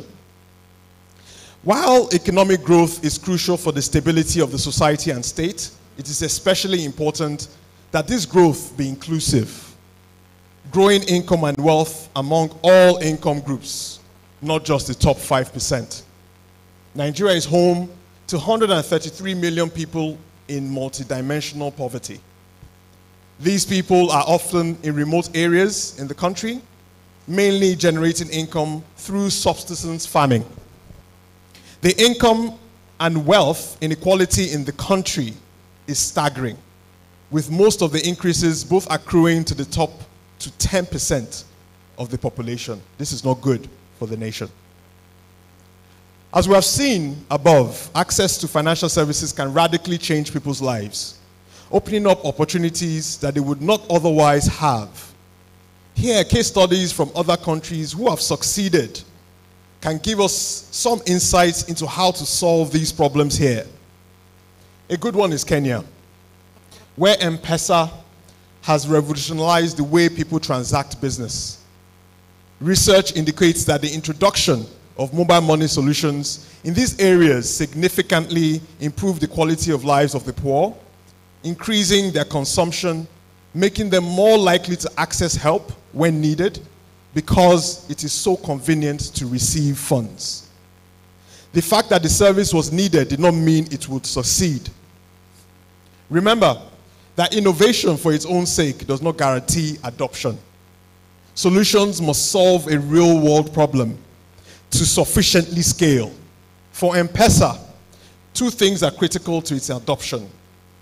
And I want you to remember this. It was launched by Safaricom, a trusted telecoms provider in Kenya. Many of these people who didn't have access to financial services already had phone lines and had established trust with the company.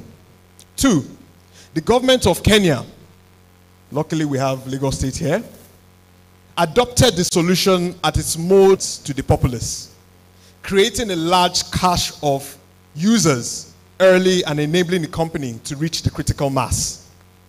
Today, 15 years after M-Pesa's launch, they have 51 million users across several African countries. On the back of these solutions, previously financially excluded segments of the population now had access to other financial services like credit to grow their businesses and insurance to protect them, making their financial positions more resilient and giving them a platform to rise out of poverty.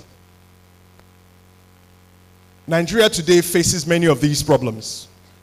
According to a 2020 EFINA financial inclusion report, 36% of Nigerians adults, adult population, are unable to access financial services. 36%. For those of you in computer science here, I hope you are taking note of these opportunities. A further 14% only have access to informal financial services. In Kenya, only 11% of the population are financially excluded, with over 80% having access to informal or formal financial services. It is therefore more likely that economic growth in Kenya will be more inclusive than in Nigeria, simply because more people have access to financial services. It is important to note that Nigeria has made significant progress. Please don't get me wrong over the last few years. Private enterprises, supported by regulation, has improved financial inclusion in Nigeria over time. As of 2020, only about 22% of Nigeria had access to some form of financial services. Today, the number is about 64%. Focused regulation by government, as well as investment of private capital, has enabled this improvement. In 2022, the central bank granted payment service banking licenses to MTN and Airtel, the largest mobile networks by number of users. The license allows these companies to set up operations to provide basic financial services across the country. These companies have made investments in infrastructure across the country and have a vast network of agents making the provision of these services possible. In addition, these companies have established trust, trust with these solutions for these unserved and underserved population, making it more likely that their solutions will be adopted. Ladies and gentlemen, technology has enabled many of these challenges dramatically reducing the cost of reaching these customers. What's the challenge of youth creativity? Despite the various challenges we face, the youth of this country, you have, you have shown that with determination and creativity, you can make the country better. We've heard from the Vice Chancellor, we've heard from the Pro Chancellor, we've heard as well from the BOT Chairman saying that Caleb University graduates will be able to make that change. And I trust that you will, in Jesus' name. The various innovations we have seen in healthcare, financial services, e commerce, and so on speak to the unbreakable spirit that you all have. However, it is clear that we are not operating at our full potential. One of the biggest challenges facing youth creativity is access to resources. Many young people, especially from those from low income families or underserved communities, do not have the same opportunities to access resources as art supplies, music equipment, or technology that can help them develop their creative skills. Without access to these resources, young people may not be able to fully explore their creative potential. Here we see the importance of financial inclusion and inclusive economic growth. It is important that basic infrastructure is available for creativity to thrive. For low income families, access to financial services is critical and can be a difference between a life of poverty and a life of upward social and economic mobility. Today, I'll start with there is a role for academia and the private sector to play in this particular area. Universities are uniquely placed to create opportunities for young people to express themselves. By creating curriculums that prepare students for job markets as well as others that resonate with students' entrepreneurial leanings, they can create opportunities for the faculty, for students to express themselves and unleash their creativity. There's a need to be open to receiving feedback and be at the cutting edge of the latest research in their fields. For administrators, it is important to maintain productive relationship with the private sector to get a sense of the demand side for labor and tailor curriculums appropriately.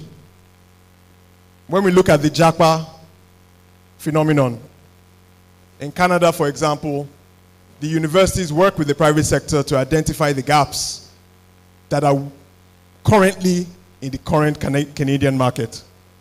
And then they come to markets like Nigeria and Caleb University to get some of our best talents. Like the Vice Chancellor said, hopefully there'll be some jackpada, I mean, to back to Nigeria.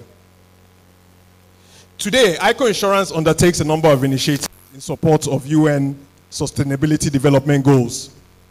This is testament to our belief that our company has a responsibility to invest in our society. We currently support eight sustainability development goals, one of which is quality education, which advocates for inclusive and equitable education for all. For us, it, this is not just an attempt to give back. It is a signal of our faith in Nigeria's youth, a recognition that our country can only maximize its potential when all of us, regardless of background, can individually fully express ourselves and fulfill our dreams. A quality education is essential to that vision. I am an employer of labor. I run a lot of interviews. I see the gaps in our country. It is in furtherance of this objective that I'm announcing that AIICO Insurance Sustainability Team will engage the university to provide scholarship programs to assist students over the next three to five years. And we would also provide a wartime gift for the library and the e-learning center. My sustainability team did not allow me to give a figure. So Vice Chancellor, I can't give you a figure until we discuss afterwards. Finally, to you students, as you leave here to begin, to begin your careers, you must understand that you are privileged to be graduating from such a great institution. I would like to conclude with a couple of personal experiences. I have worked for four organizations as the MC was so gracious in introducing me. I've worked for two years, starting with Glasgow Caledonian University, then management consulting firms, Accenture Nigeria, and Capgemini London. I now work with AIICO Insurance, where I've been for almost 14 years. In my first year in Accenture, I resigned after a year to pursue business with the aim to be rich and to be like the entrepreneurs in my family. The business failed woefully. I was 26 years old. I was young. I picked myself back up and started again. Accenture was gracious enough to accept me back, and I decided to take a different. The first is to never give up. Whatever you do must be done well, and it is important to maintain relationships. Another pivotal time in my career was deciding to join AIICO. AIICO did not fit the mold. As the MC said, I was recruited as a CIO. At the time, AIICO used to have servers as desktop computers in 2009. I took a significant pay cut leaving Capgemini London to join AIICO. However, my thought was I had prayed to God for the opportunity to join the financial services industry and leave the consulting word, world for good. This seemed like the opportunity, even though it was back in Nigeria and had a pay cut. I decided to take it anyway. I joined AIICO in 2009, and since that time, I've been blessed with great exposure to impactful work, worked with amazing people, trained well as an insurance and finance professional. It has been hard, but it's been beyond my wildest dreams. The second lesson here is the need for a leap of faith. A strong belief that this is the Lord's plan for you. Never follow the crowd, Japa included. Self audit and be truthful to yourself. You must all recognize that each journey is unique. Work hard. Faith is important. And finally, identifying mentors, coaches, and sponsors for your life is critical to success as an entrepreneur or as an employee.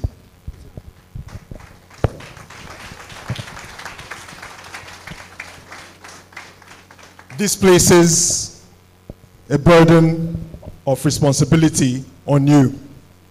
The investments that have been made in you throughout your life have brought you to this very moment where, like the speaker said, you are now adults.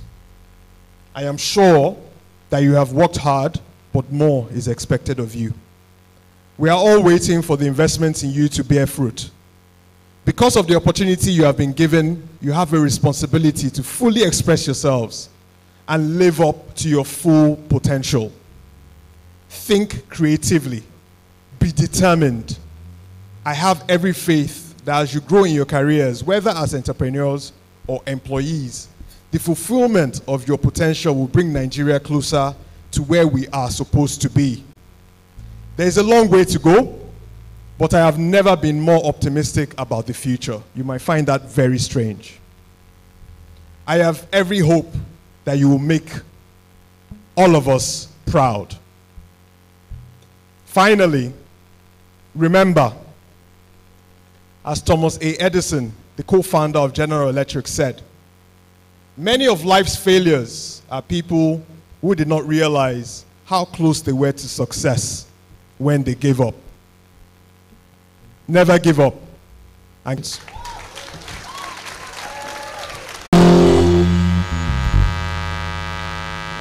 That price is actually a computer tablet. Please collect it before you go. Thank you.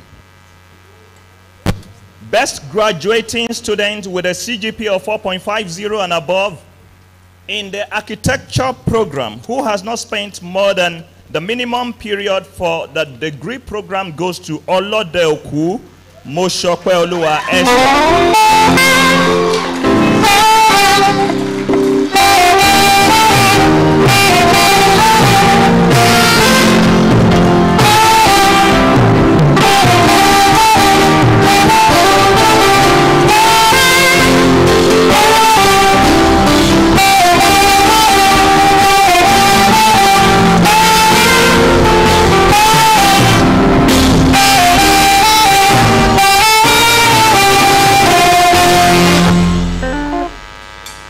Recursively, we want to announce the prize for the best graduating student with a CGP of 4.50 and above in criminology and security studies in person of ACN Deborah Okokon.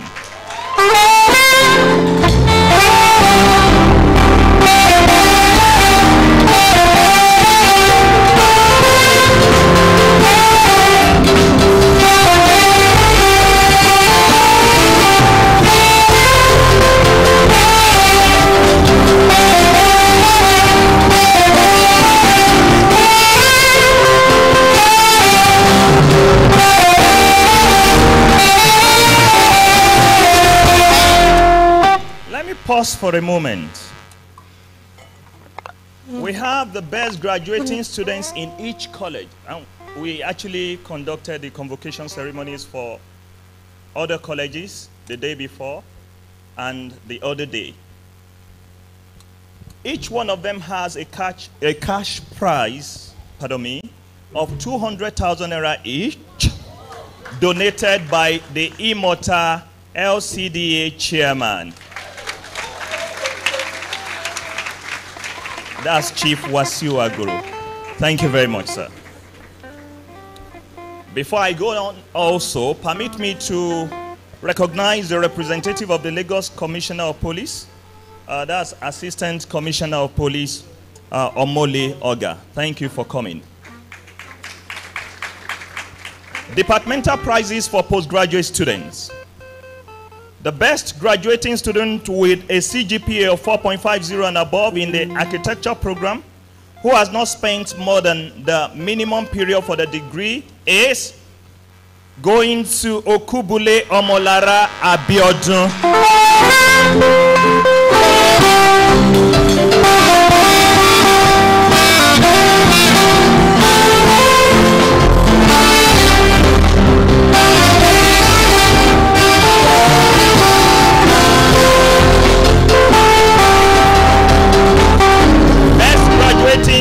With a CGP of 4.50 and above. In the accounting program who has not spent more than the minimum period for the degree program goes to Olatokumbo Elias Abisoye.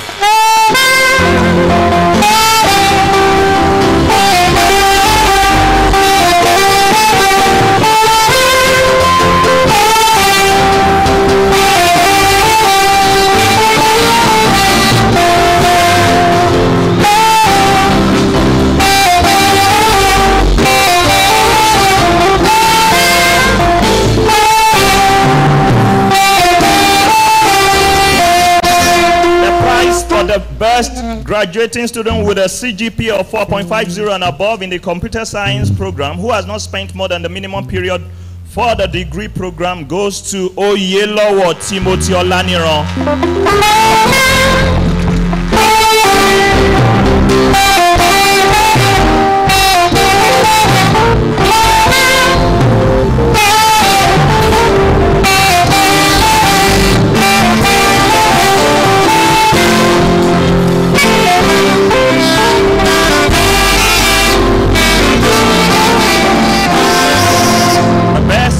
prize for the best graduating student with a CGP of 4.50 and above in the finance program who has not spent more than the minimum period for the degree program goes to Adeoti Michael Oluwasegun. The prize for the best graduating student with a CGP of 4.50 and above in the political science program who has not spent more than the minimum period for the degree program goes to Aikomo Odunola. The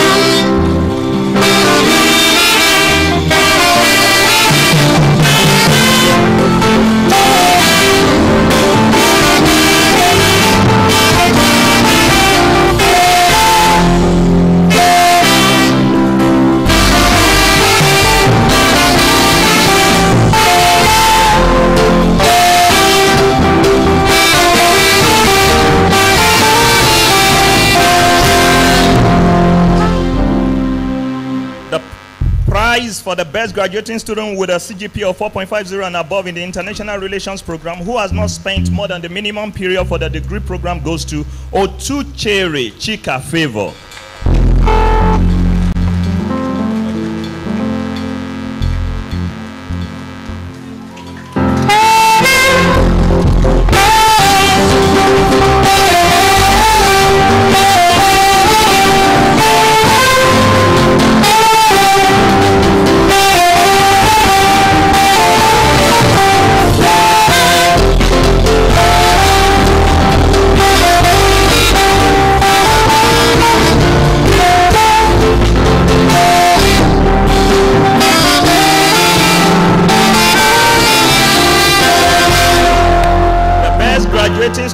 With a CGP of 4.50 and above in the economics program who has not spent more than the minimum period for the degree program is Olorode Rafiu Olorode, sorry.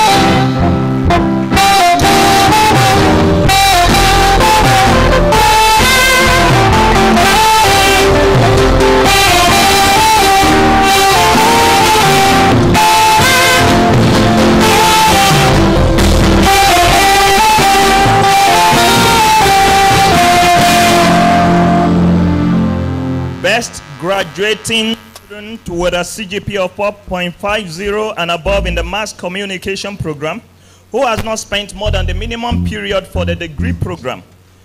The prize goes to Diala Esther Oluchi.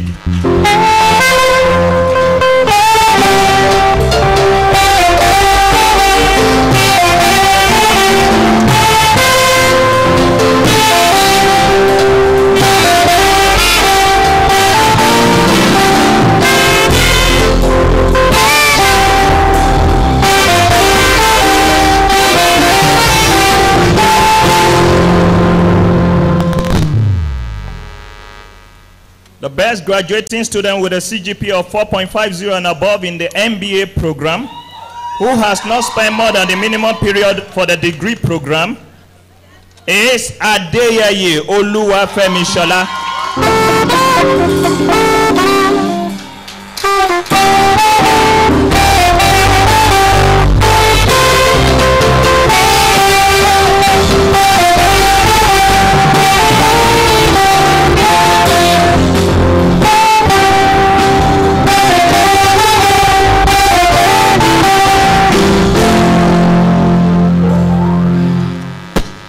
Thank you, sir.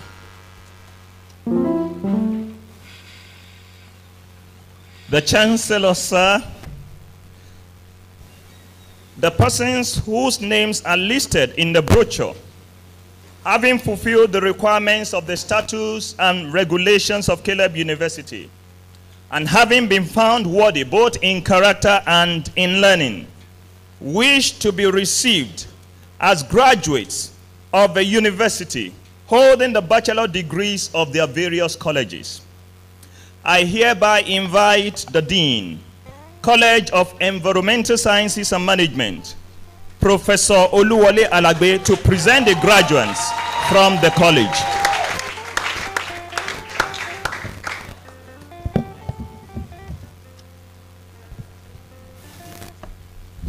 Will the graduates in the College of Environmental Sciences and Management please stand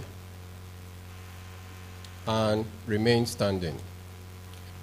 Our Chancellor, sir, in the name and by the authority of Senate, I present to you the following candidates, those present and those unavoidably absent, from whom I stand proxy, whose names appear on the list, who have successfully completed their bachelor degree program, and who have been found worthy both in character and learning to be admitted to the degree of Bachelor of Science in Architecture of Caleb University.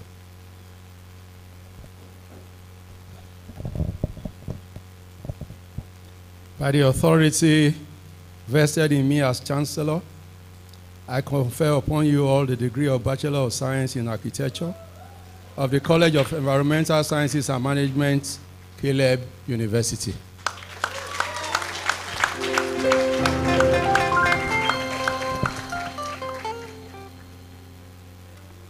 Please remain standing. Admission to higher degrees. The Chancellor, sir, the Dean College of Postgraduate Studies will now present the persons whose names are listed in the brochure, having fulfilled the requirements of the statutes and regulations of Caleb University, and having been found worthy both in character and in learning, who have qualified for higher degrees of the university in the 2021-2022 academic session. I hereby invite the Dean, College of Postgraduate Studies, Professor Teju Shomori, to present the graduates from the college.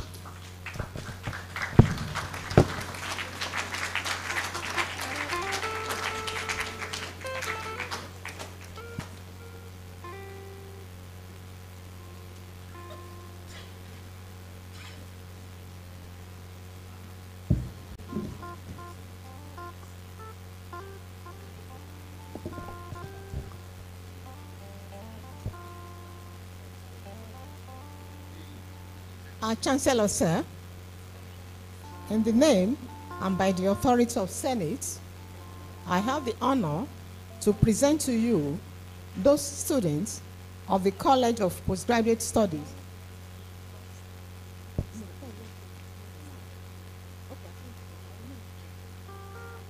Will the graduates in the College of Postgraduate Studies please stand and remain standing?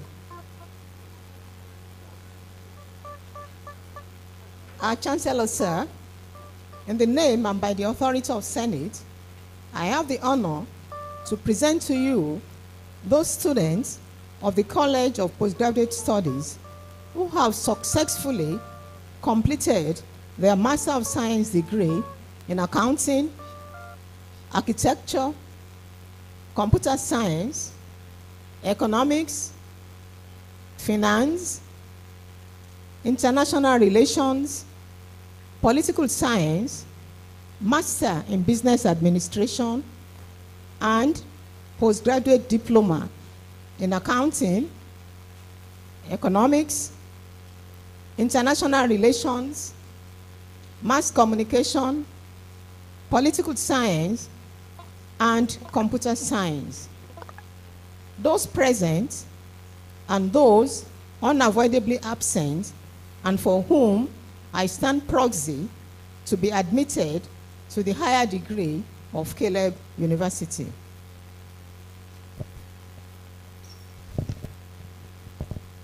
By the authority vested in me as Chancellor, I confer upon you all the degree of Master of Science, Master in Business Administration, and postgraduate diploma in the various programs in the College of Postgraduate Studies of Caleb University.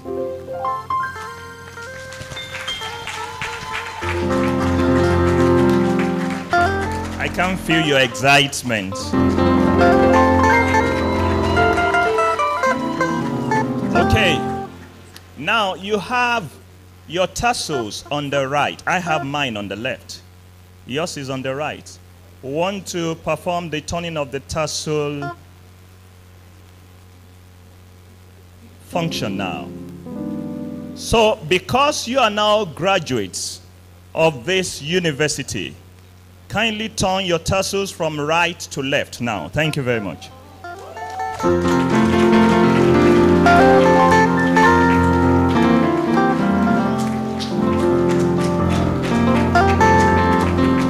I actually can feel your excitement.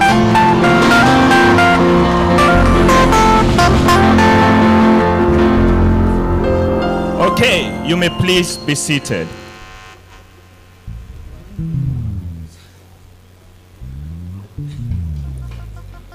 Next in line, we have conferment of honorary degrees. The first on the list actually goes to the governor of Lagos State in person of Governor Baba Jide Olushola Sanwo-Olu. Is is represented here today by the permanent secretary in the office of the special advisor on education in person of Mr. Wahid Kasali.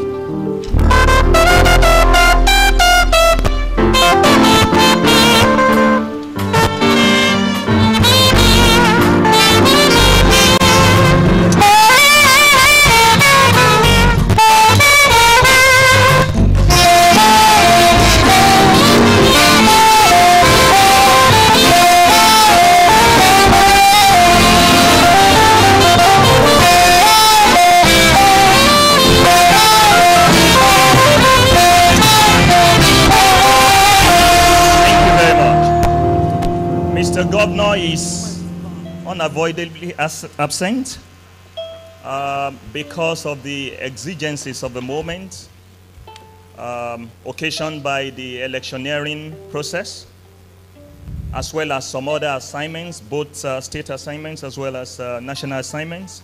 But he has promised that we will have an event where he will be robed, where the degree will be conferred formally on him, and that will be in his office. Uh, as a result of that, uh, all other activities regarding his investiture uh, will remain pending till then. Thank you very much, sir. Thank you.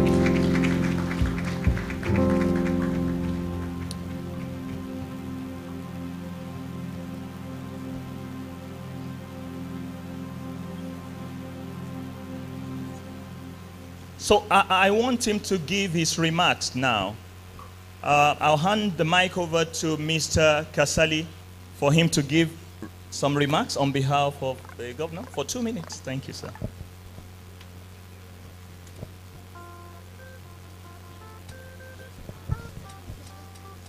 Thank you very much.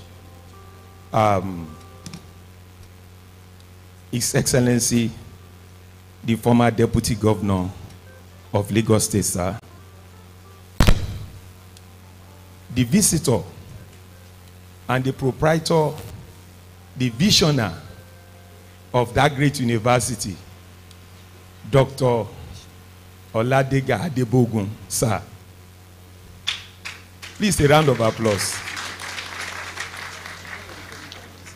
The chancellor of this great university, the pro chancellor and chairman of council of the university,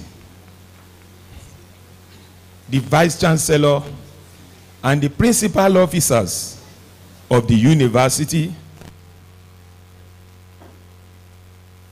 the honorary awardees here today, Dr.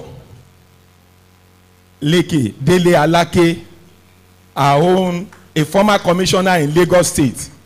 Uh, I was I was going to another route, and uh, uh, the honourable former commissioner knows where I was going. Thank you very much, sir. Dr. John Momo, sir. Please a round of applause for the deserving awardees here today. Our distinguished uh, convocation lecturer today. Thank you for that wonderful presentation. Our highly revered royal father, our own Ayangbonre of Okorodu Kingdom, Ọba Abdulkabir Adewale Shotobi Kábíyèsí sir Kábíyèsí o and the Ade Ayangbonre in council here present. The chairman of Imota LCDA and our leader is here and he needs to be recognized because he has contributed meaningfully to the development of the center of excellence.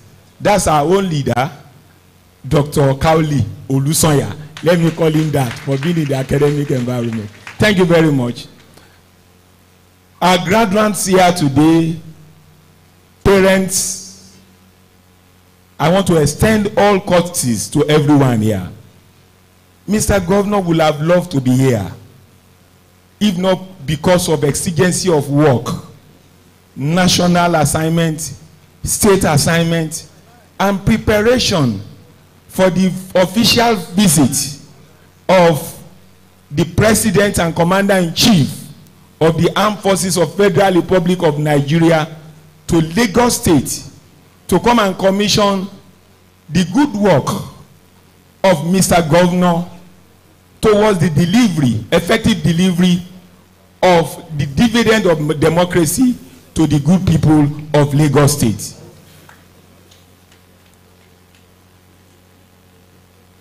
It is an honour and a well deserved for giving mr governor that award. The honorary award is not just for mr governor. Is deserving but to the good people of lagos state to all those who have contributed meaningfully even to the development of the state. We must praise here the visionary of this university, Dr. Adebogun, who has made his impact by pushing that boundary even right from kindergarten to tertiary level. Please give him a round of applause. Because he has laid that foundation right from kindergarten even to this tertiary level and that is why we are having this presentation here today. Particularly the twelfth convocation, and the fifteenth uh, founders day ceremony happening taking place here today i want to commend the chancellor the pro chancellor and the uh, the vc for the managerial excellence that has been displayed towards the producing quality graduates for nigeria. With the tenacity of the visionary the commitment of the proprietor it is no doubt that caleb university has produced creative leaders. Caleb university has produced innovative leaders.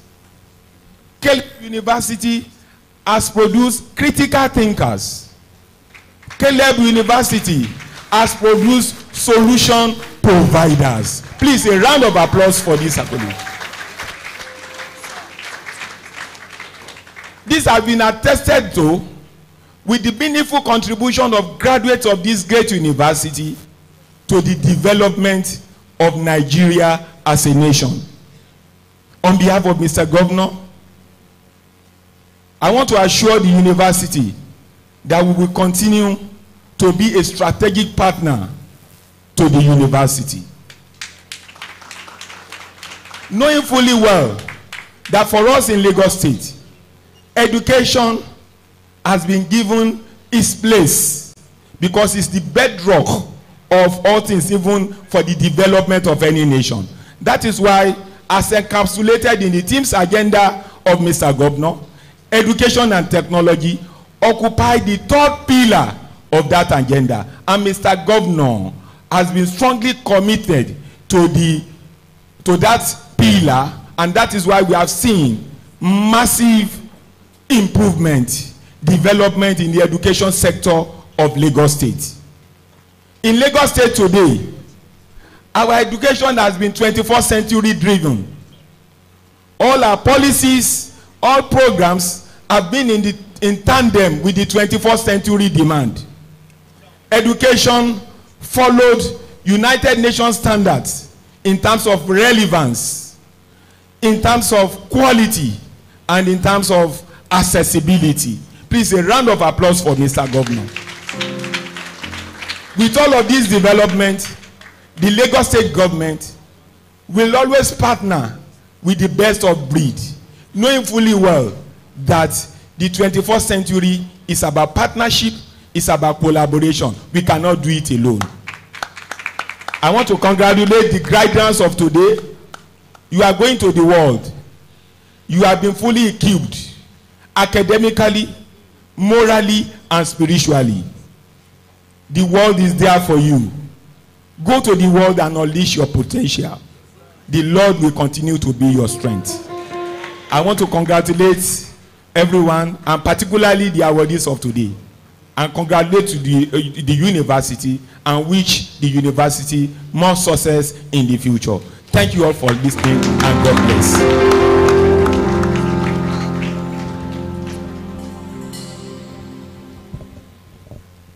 Thank you very much, sir. The Chancellor, sir, permit me to recognize the Divisional Police Officer for Imota and the one for Agbowa. The DPO for Imota, CSP Justin Oro, is here present. We recognize you. Thank you. We also have the DPO for Agbowa, CSP Bolaji Olugbenga. You are recognized. Conferment of honorary degrees. The Chancellor, sir,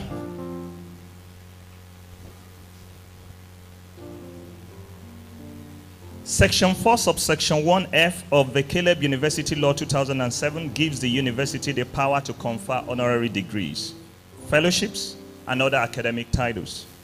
In line with the above, the Governing Council and the Senate of Caleb University have resolved that the honorary degree of Doctor of Mass Communication, honorary causa, be conferred on Mr. Deji, Mr. Dele Alake.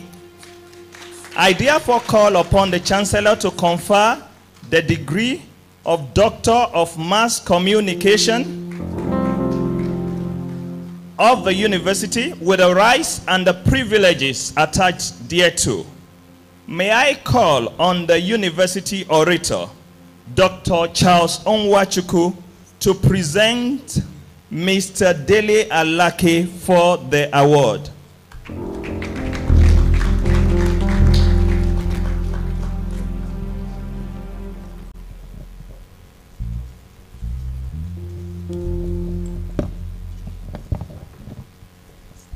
Thank you very much, sir. Uh, the Chancellor, I extend all protocols down to the end and observe them one by one on the strength of earlier established you know, uh, status. I will go ahead to present a brief citation of Mr. Oladele Henry Alake.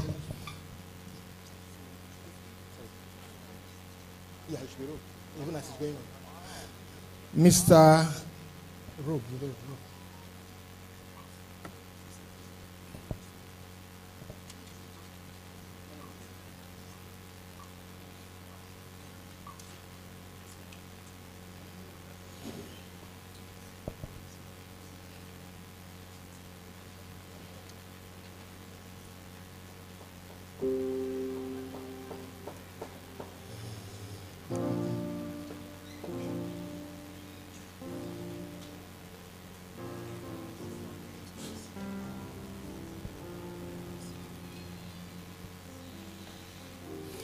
Yes, thank you. Mr. Oladele Henry Alake is the quintessential technocrat.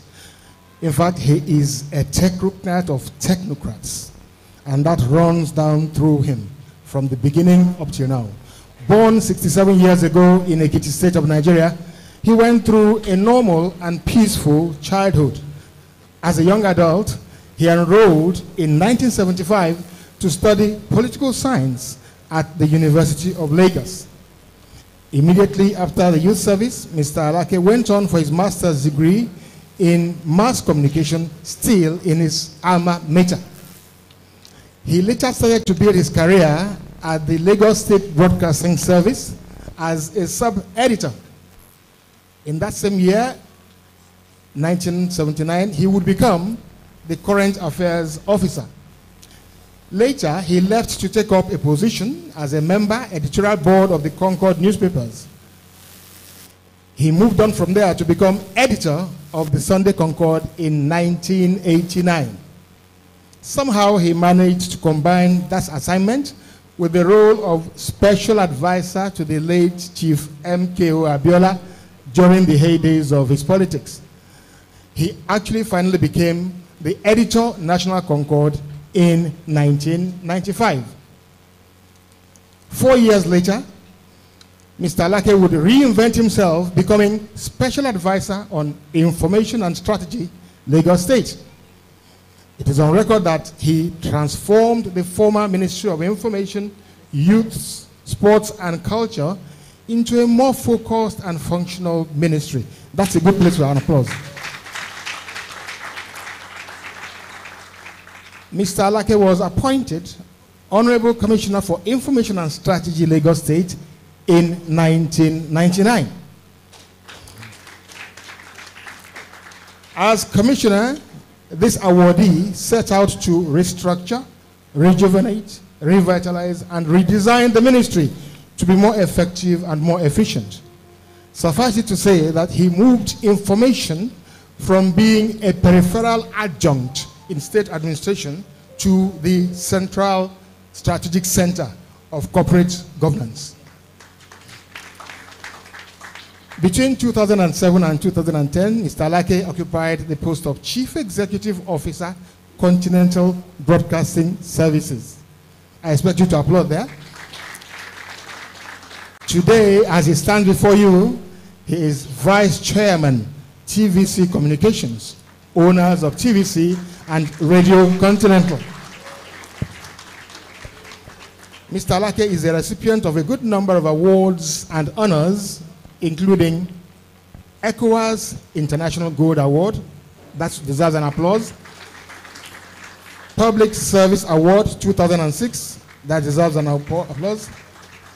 Award of Excellence, that was given in 2000, and the Fellowship Award of 2002.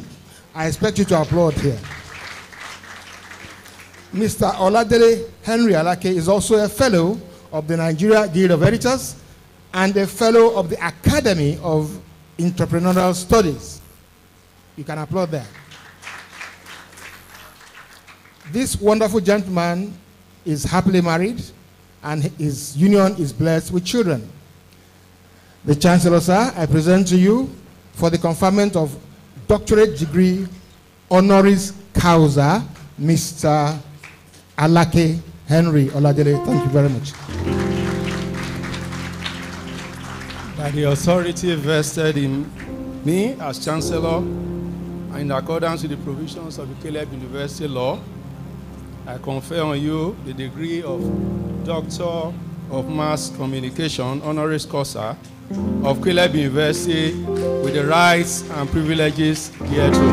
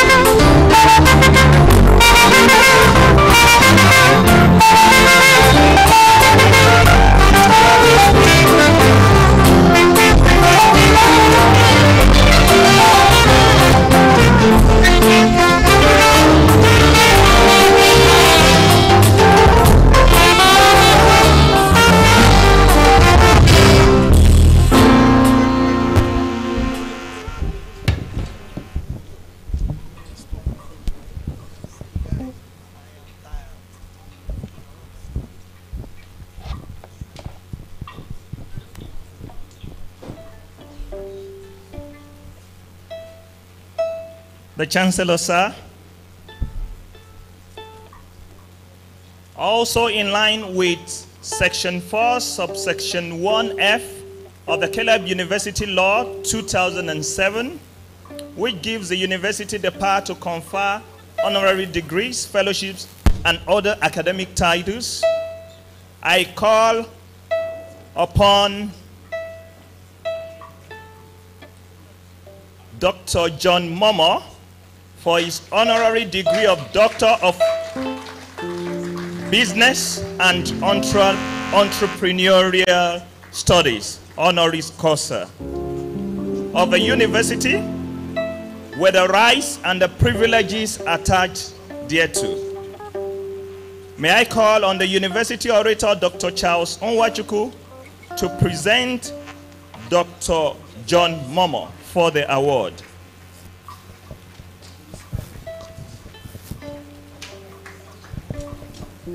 Yes, uh, Dr. John Momoh, as you heard, this is not the first on the list of uh, honor- honorary doctorate degrees that he has earned. And uh, by the time this short ceremony is over, he would have added another befitting feather to his cap. John, as he's fondly called, holds a BSc Mass Communication, University of Lagos.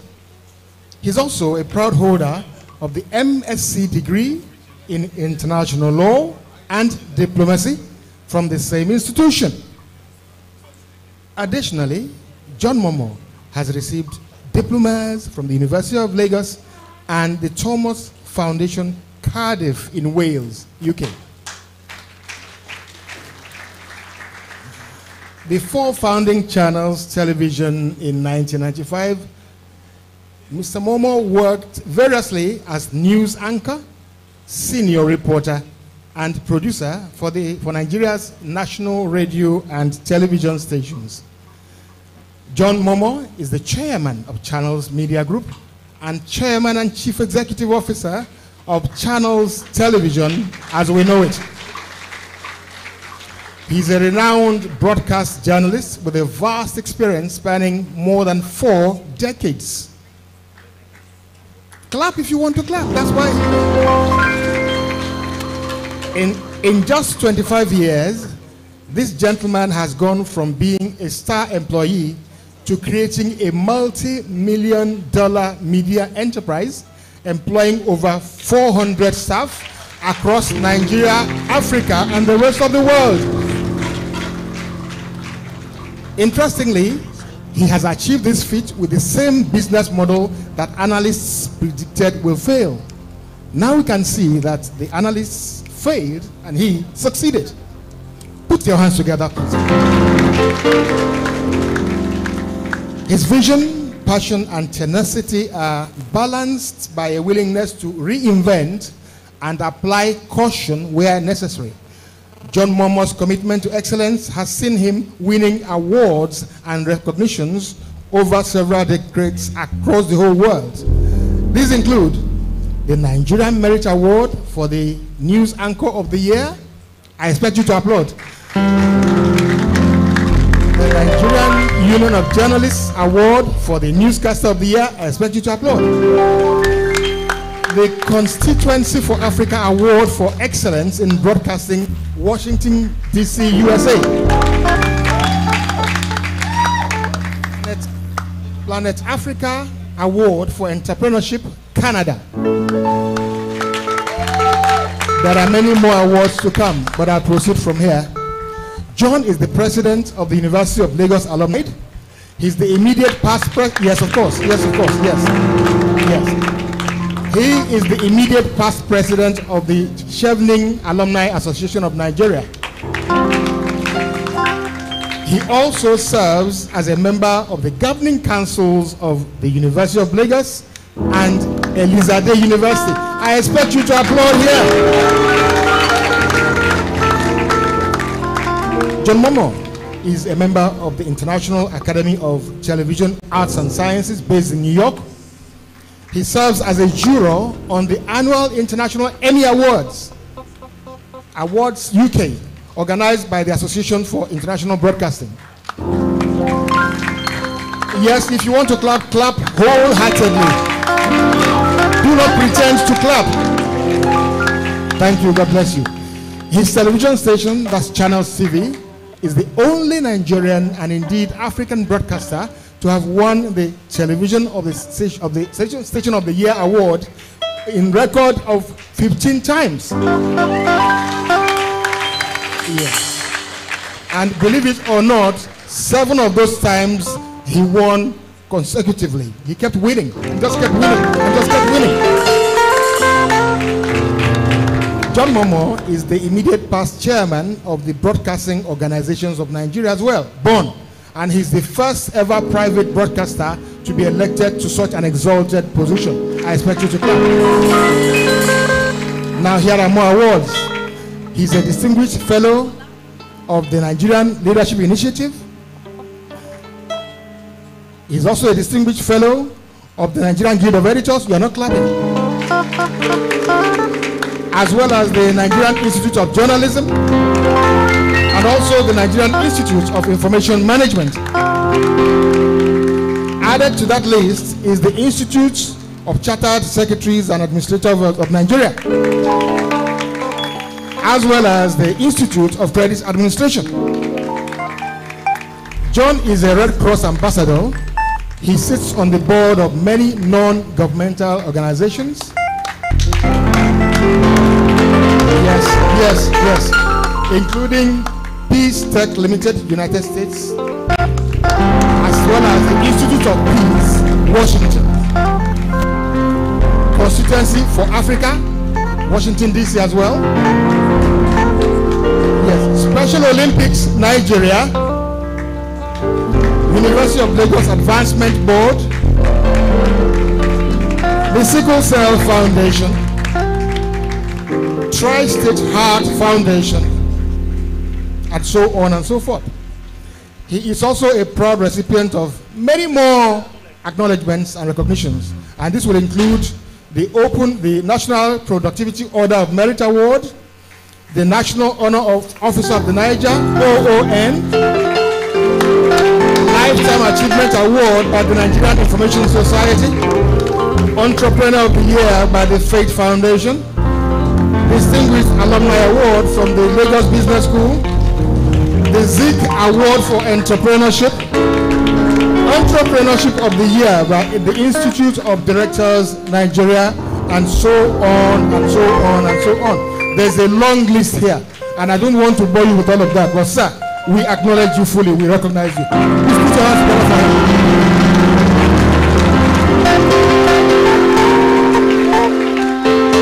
John is happily married, married to Shola, whom we all know, and they are blessed with three wonderful children. The Chancellor, sir, I present to you the Wonder Man with the Midas touch in the Nigeria television broadcast industry, Mr. John Momoh, for the award of honoris causa.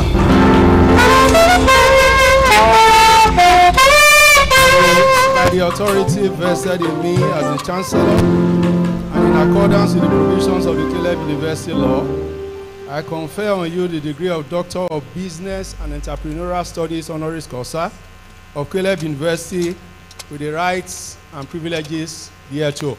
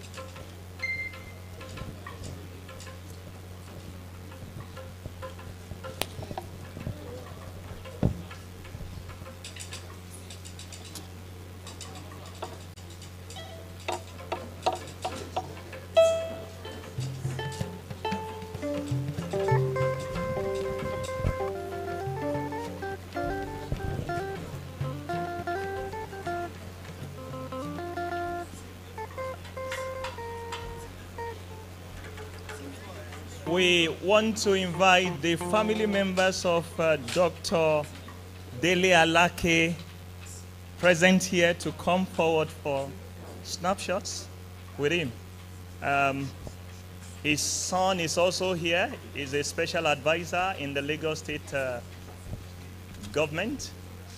Please come up, sir.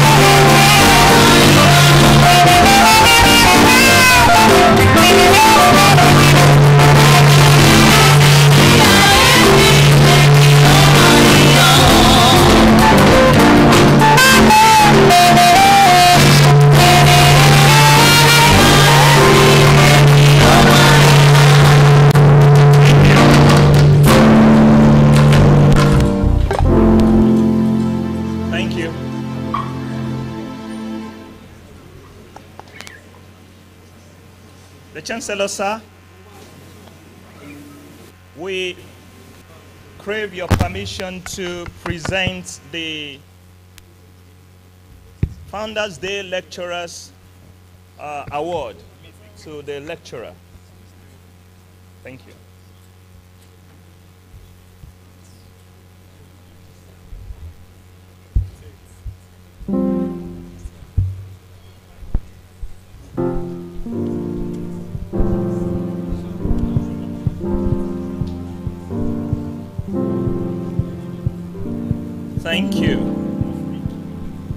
Thank you.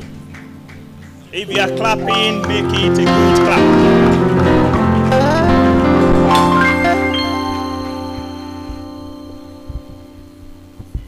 I want to recognize the presence of the Commissioner for Information and Strategy, Lagos State, in person of uh, Mr. Honorable Gbenga Omotoso. Thank you, sir, for coming. Thank you.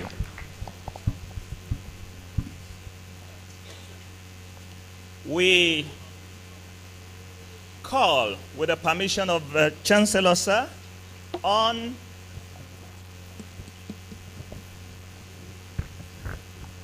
call on Dr. Dele Alake for a brief remark. Thank you so much, sir.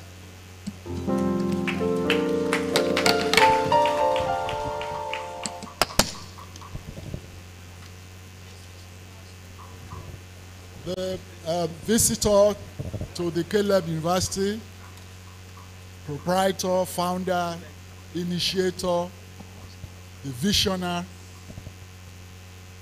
and the one that God has used in establishing this very profound, magnificent, excellent institution that has turned out a most exciting quality crop of human beings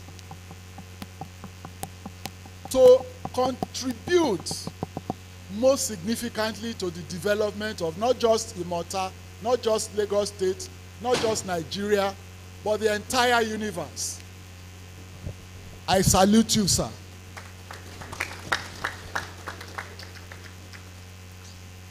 To the Chancellor, Pro Chancellor, Vice Chancellor, chairman, board of trustees, all staff, all the eggheads, the academia, the management, the graduates, the parents, our KBAC, the royal fathers, and our mothers. It is indeed a humbling experience for me to be here today to receive this very, very exceedingly rewarding honor. Rewarding, I will say, not just for me as an individual, but to me is a recognition of a modest contribution to our industry, and that is journalism. Distinguished ladies and gentlemen, my co-awardee, Dr. John Momoh, whom I have had a relationship with of over 40 years, both in and outside the profession. However, the significance of today's occasion and ceremony is not just in the theoretical aspect of passing on degrees and awards or the esotericism of our pontifications here or exhortations to the new graduates. No. The significance of today's occasion lies in the seriousness that we have placed on the value of education in our environment, in our society, in our country at large. And that seriousness is not just an eloquent testimony of the individual entrepreneurship spirit and the zeal of our people exemplified by the founder of this institution but also to every individual here both graduates awardees parents well-wishers those who are interested in the value of education are here today not necessarily for the award it's for the intrinsic value of what this occasion means for our country and I personally, I have an emotional attachment to events like this because I come from a home of educationists. My father of blessed memory was an educationist. He ran a school in this Lagos in the 60s and 70s. Those who are old enough would know Benevolent High School, Surulere. That was my father's school then. So I have been weaned in the tradition to, of value for education. And that tradition is what we carry on to today. That all our children are well educated, well exposed. And when I see individuals that also share this same value and contributing their resources into enhancing the value of education in our environment, I always doff my hat. I doff my hat for you. I doff my hat for the chancellor, the vice chancellor, the professors, and everybody that has made this institution what it is. Personally, I'm a journalist. I call myself a reporter because in journalism, once you are a reporter, whatever attainment you reach in life, you remain a reporter. So I remain a reporter. And in our industry, in the reporting industry, we abhor titles. That's why when Dr. John Momoh is on air and is on air with a toddler, the toddler refers to him as John because we do not subscribe to titles in our profession. So, in this vein, and following that culture, in the last 30 years of my adult life, I have refused more than 36 chieftaincy titles. And I've refused certain awards and degrees from certain institutions that I did not consider serious enough or of higher quality with substance, intellectual rigor that will make me to accept such awards. But Caleb University gave me a pleasant surprise because I never knew that I knew anybody in this institution until I received the letter conferring this award on me. That is one. Two, upon my receipt of the letter, my pre inclination was just to say, oh, it's one of those awards, let me just put it aside. Then something struck me. The name Caleb University rang a bell because I've known Caleb uh, primary school, secondary school, and all of that. So, and I saw the common thread, and I decided that someone who has started from the kindergarten, from the elementary to the tertiary, connotes seriousness and focus, tenacity of purpose, assiduity, responsibility, responsiveness. And I said, let me conduct my own little research as a reporter. And I conducted my re research, and the research showed me that Caleb University is not just one of those serious institutions, as young as it is, it is within the first 10 category in the ranking of universities in Nigeria today. Within a space of 15 years. And that's no mean achievement. It speaks volumes to the seriousness of purpose of the drivers of this institution, the visionaries, and those who engage in academic rigor and imparting knowledge to our young graduates here. And I want to say that the degree that has been given to me in my profession also makes me proud of this university. And I pledge with every ounce of energy at my disposal that I shall continue and start from today to contribute my quota to the progress of this institution. Again, because of the modesty of our profession in, in journalism, we are not giving flamboyance and frivolities. So I will not be able to start binding figures in naira and kobo. But I do not set my store nor count my wealth in naira and kobo terms. I count my wealth in the number of smiles that I can put onto people's faces. And I'm going to do that, God be my helper, for this institution and for those coming behind us to also be exposed to the quality of education that we've had and to enhance the quality of education that Caleb University is noted for, is acknowledged for, and is honored for. And just in a nutshell, I want to use this occasion to speak to students of my profession in this university, and that is mass communication. Mass communication is not just a profession for all comers. In the past, when those of us who are old enough were practicing this journalism, we practiced under the military regime when it was the most difficult profession to practice in Nigeria. And that was, those were the days when we came to work with a toothbrush, a face towel, a copy of your passport, because you didn't know where you would sleep that night. You either got arrested and detained by the military for publishing correct statements, or you had to escape through the Nadeco route outside Nigeria on exile. I was on the exile too when we were fighting for democracy. I'm sure you heard from my CV. I was editor of National Concord, owned by MK Abiola, who won the presidential election of 1993, June 12, that was annulled. And we plunged into the struggle.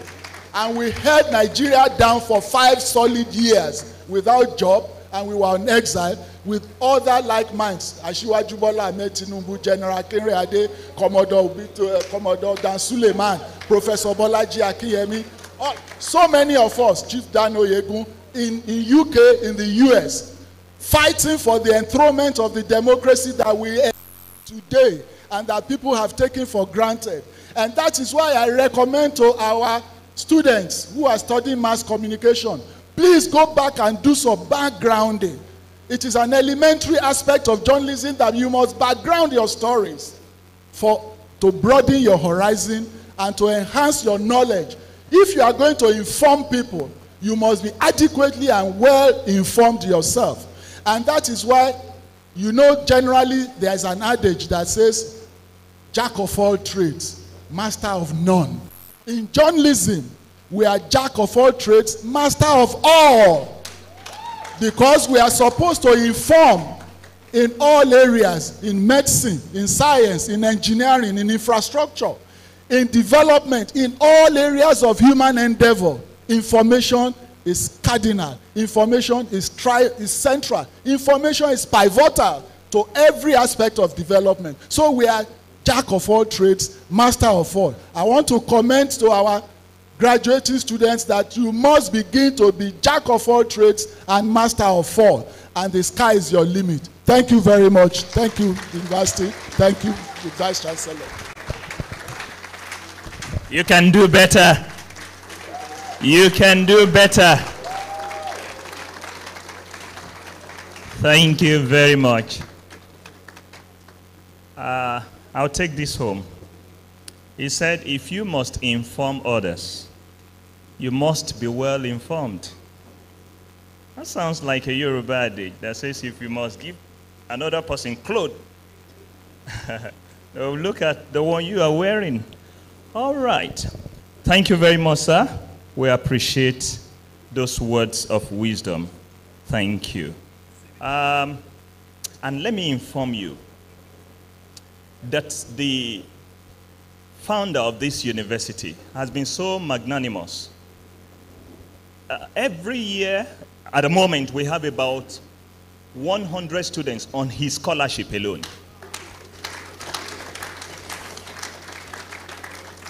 I think that's not small, but you give a small clap. All the students in the College of Education in Caleb University, they are on scholarship. And that's one of the ways he gives back to the society. We appreciate that and we pray that his strength will not abate in Jesus' name. Yes, we also will give Dr. John Momoh some moments of remarks with us. Thank you so much, sir.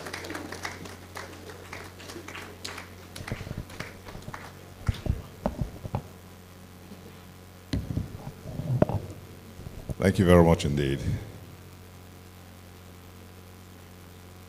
The visitor, Your Excellencies, KBSCs, parents, distinguished faculty members, ladies, graduates, ladies and gentlemen. Uh, in order not to leave out anything, I decided to pen down a few words here. I must first and foremost let you know that I'm very, very thrilled by this recognition. Thrilled because this is the fifth award, honorary award that I will get from Nigerian universities. So when I got this one that made it the fifth one, I said to myself, this is like the icing on the cake.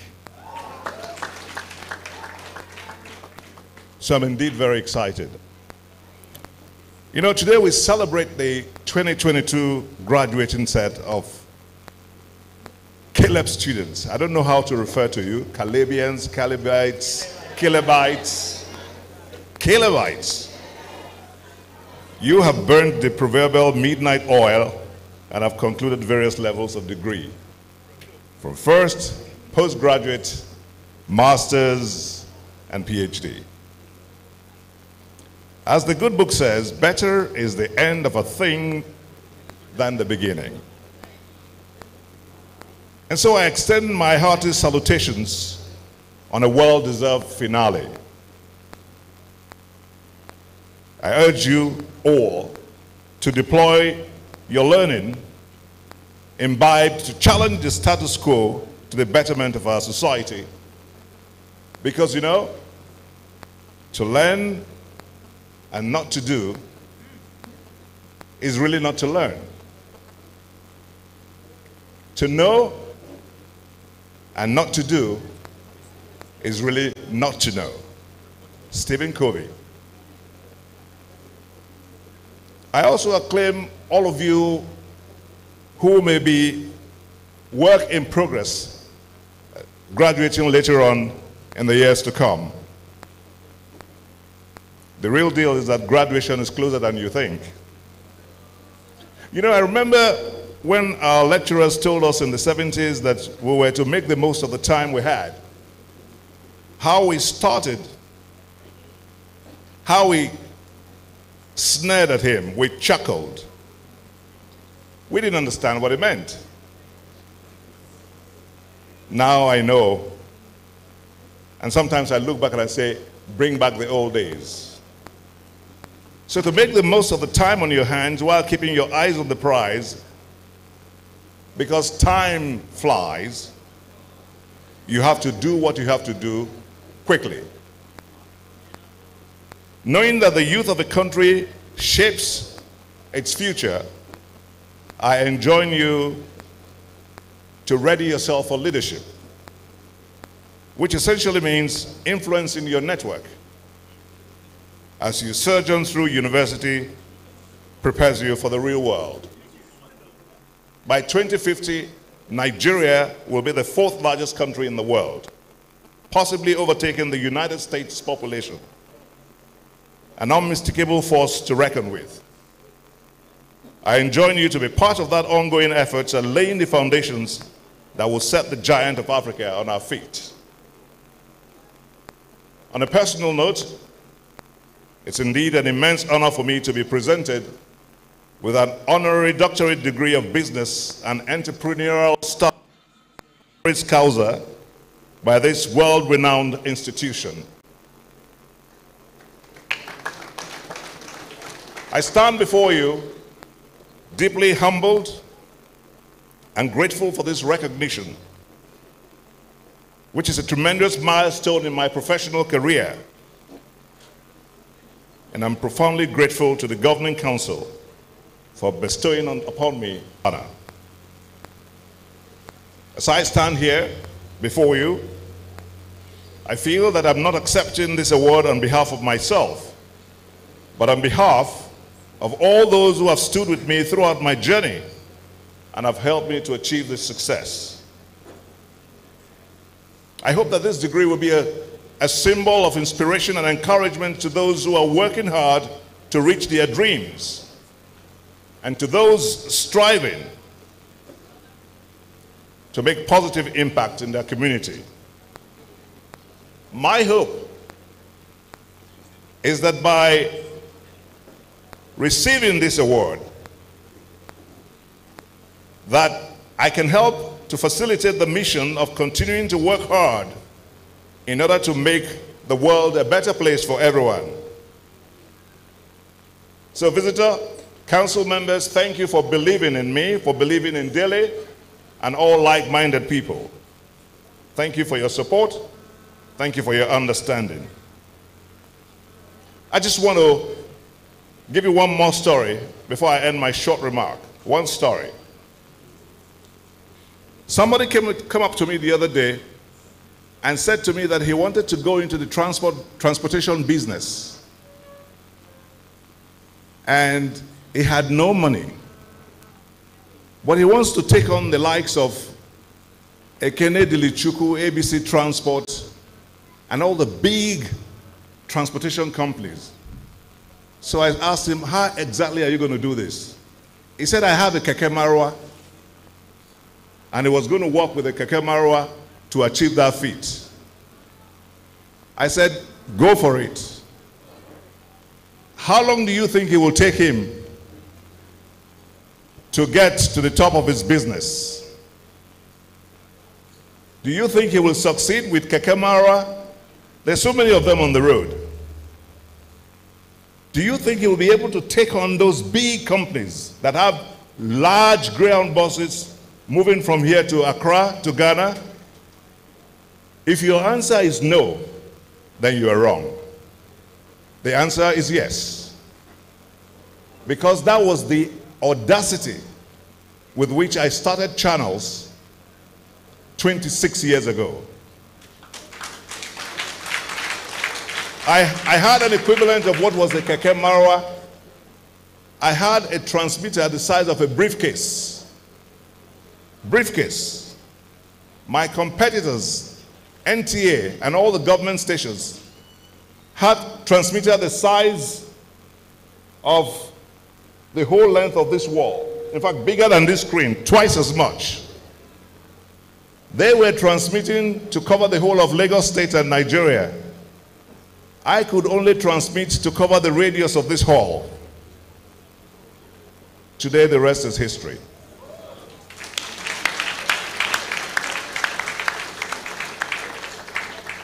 Today, Channels is the most awarded television station in Africa. We have won not only local awards, national awards, as you know, we're 15-time award winners for the National Broadcast Station of the Year. We have won the Africa Station of the Year two times. And we continue to win awards. And not only that, we are providing employment to more than 500 people. And the spiral effect is more. We have bureaus in London, in Washington, in the UAE, in South Africa, and in the West African sub-region. All this from the briefcase transmitter. So you can do it. As you go out, the world is your oyster. Go out and explore. You've been told that it's not all about jackpying. Jackpada, they said. But remain here if you want to. You may go and acquire the experience, make some money and come back but life's difficult over there. But let's build Nigeria together. Nigeria needs men and women like you. Together we can build it. Together this nation will be great. Because if the visitor did not remain in Nigeria to set up Caleb University and the Caleb institutions, there will be no Caleb. So I thank you all. I thank you, sir. And I thank you, everyone. God bless you all. Thank you so much.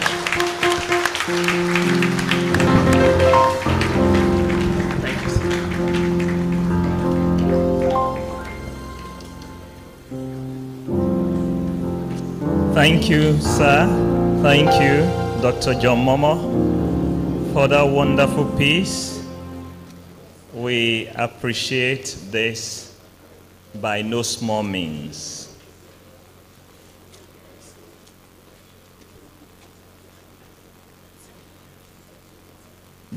The Chancellor, sir,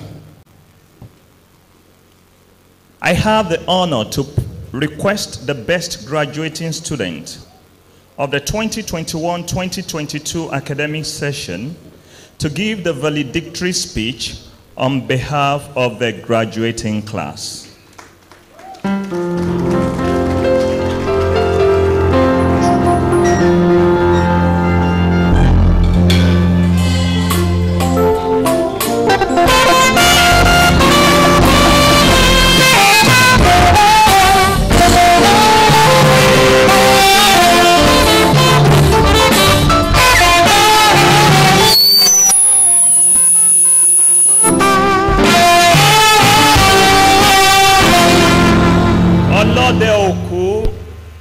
Moshope Oluwa is the best graduating student for the College of Environmental Science and Management.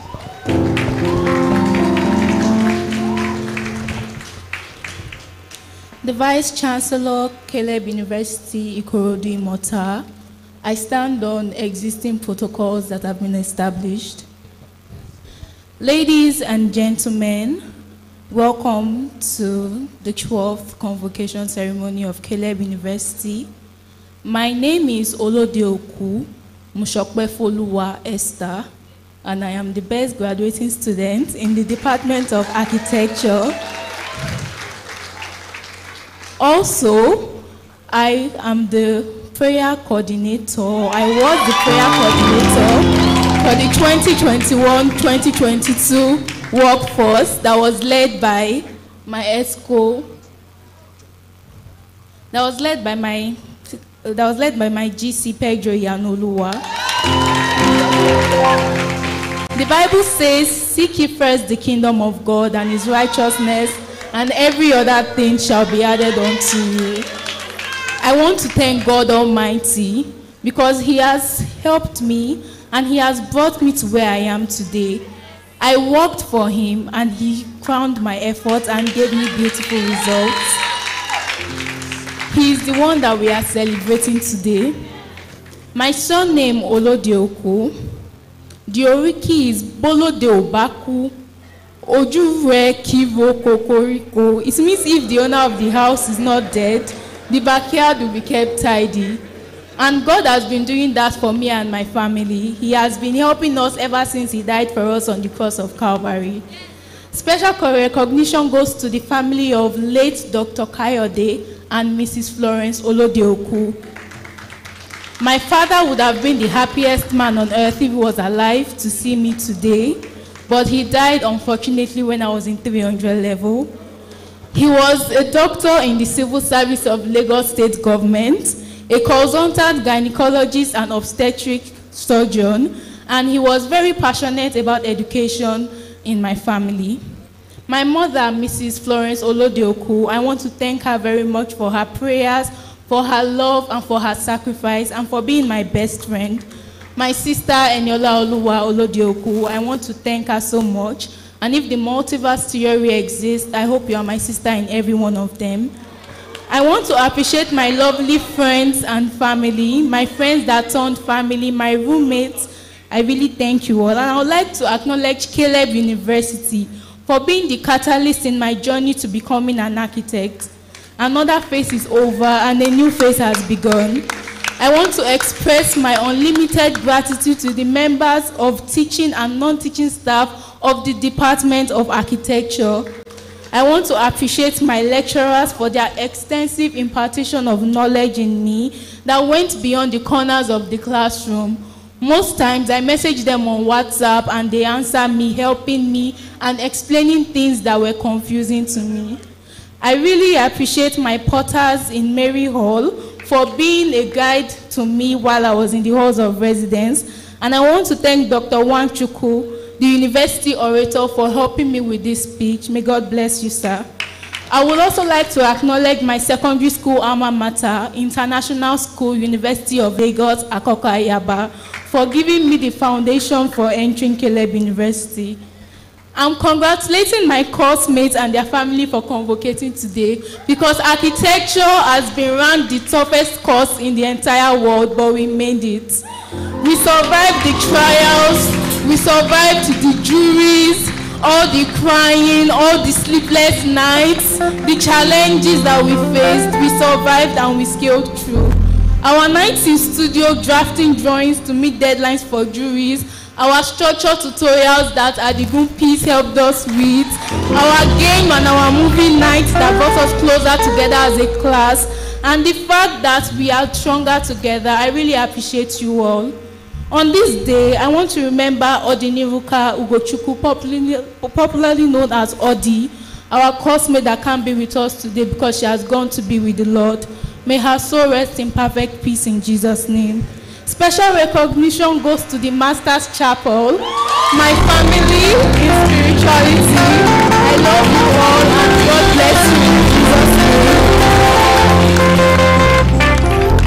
thank the current Vice Chancellor that was previously my chaplain for his constant email updates on sunshine that I receive regularly. It's very encouraging and inspiring. Thank you very much, sir. And I just want to give a brief look into my journey and give some form of encouragement to everyone that was here. Joining the chapel workforce as an architecture student was a leap of faith I took in 200 level. There were moments I would be in studio by 7.30 a.m. planning to stay till 10 p.m. but we'll have to come to chapel for meetings or services in between. The greatest part of my life that God helped me with architecture was time management. The Bible says in Ecclesiastes chapter 11, verse 4, that if you wait for perfect conditions, you will never get anything done. As a student, as a person, as an individual, in every areas of our life, if you keep on waiting, oh, the time is not now, oh, things are not working out, oh, I have other things to do, you won't do what you are supposed to do, and at the end of the day, you won't fulfill the goals that you've set. The, when you are punctual, there is always time to spare. Procrastinating only makes what you have to do go away temporarily, and when it's time to do it, you find out that there's little to no time left, or sometimes it's even too late.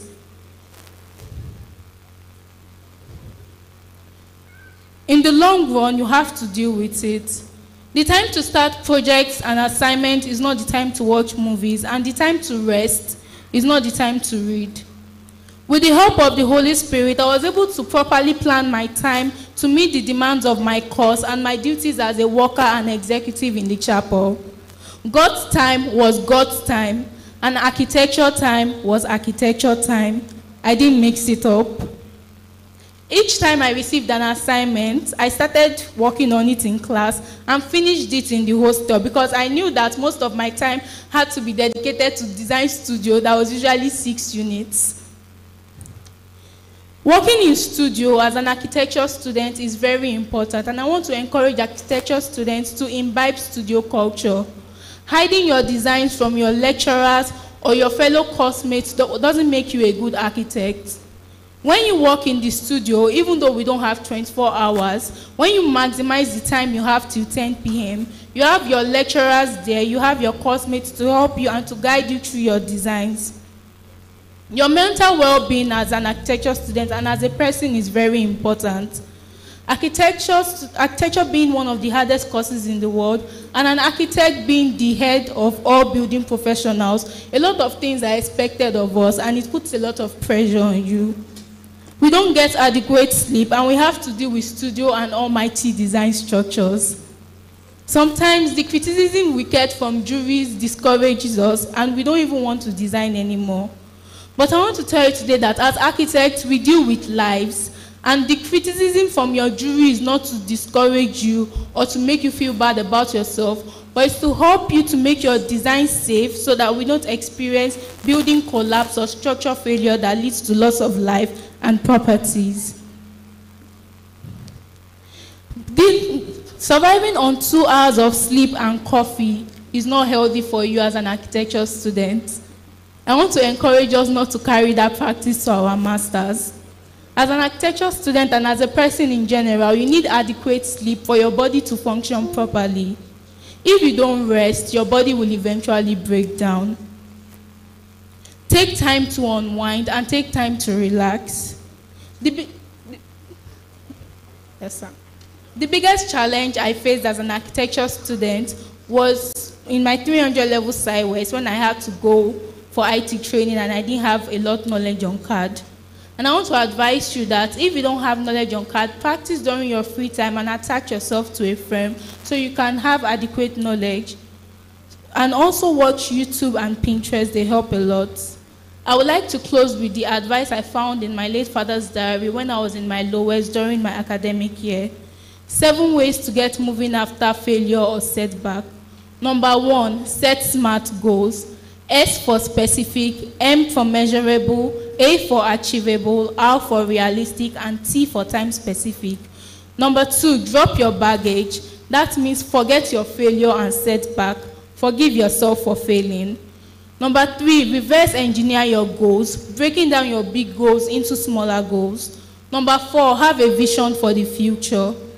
Number five, shrink the tasks to as small as they can be so you don't get overwhelmed. Number six, reward yourself for a job well done. Celebrate your small wins because it's with the small wins that you get bigger wins. Number seven, be accountable and have an accountability partner. This really helped me in my, in my education, and I'm very sure that it will help you too. I want my life to be an inspiration to people that you can serve God and get good grades. And I want architecture students to know that first class is very possible to achieve. If you haven't given your life to Christ, I encourage you to do so because He loves you and is the only one that can give you success in all your endeavors, including in your academics. I am proud to be a product of the Department of Architecture that is the pride of Caleb University. Once again, I congratulate everybody. Thank you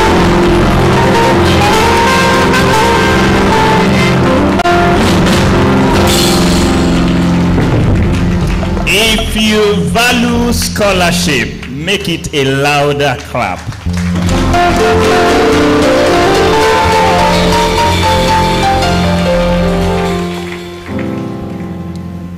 The Chancellor, sir, we want to call on um, Professor Adedeji Daramola to pray for the graduates. Professor Adedeji Daramola, prayer for the graduates.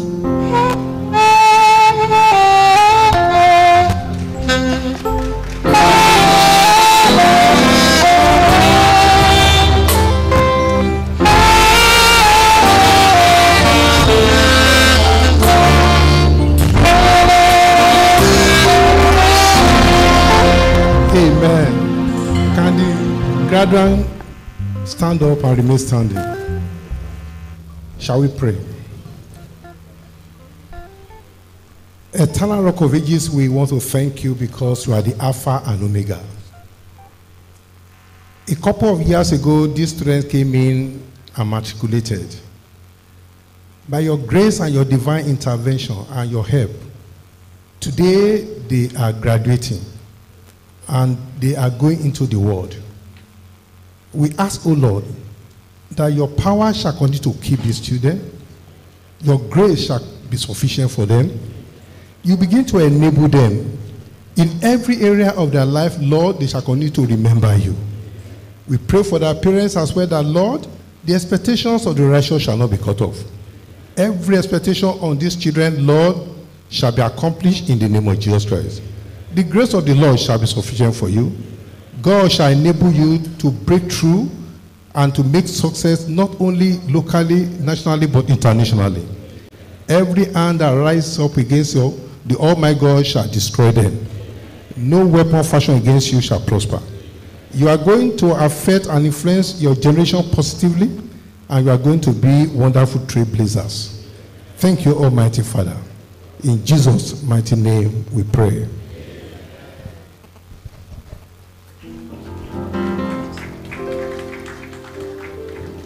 Thank you, Professor Adedeji Daramola.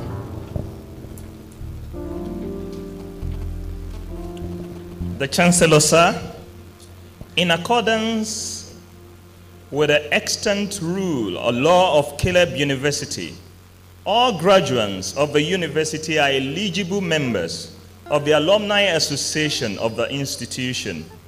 I have the honor of inviting Mr. Christian Odefadihon to induct the graduates into the Caleb University Alumni Association.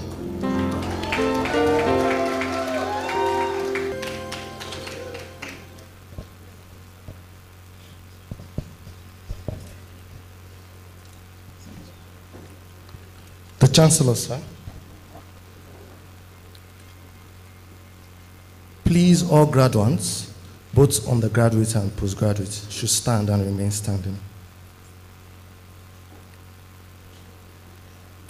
Our Honorable Chancellor, sir, in accordance with the extant law of Caleb University, I have the pleasure to induct the latest sets of graduates into the Caleb University Alumni Network today as part of this convocation ceremony. Will all the graduates say after me, I, please mention your name, solemnly pledge to be fully committed to the ideals and principles involved in the formation of alumni networks of universities all over the world.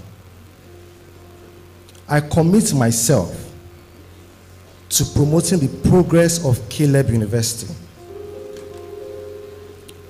as my alma mater so that it shall continue to grow from strength to strength until it is known and respected as an enviable citadel of learning throughout the world. So help me God.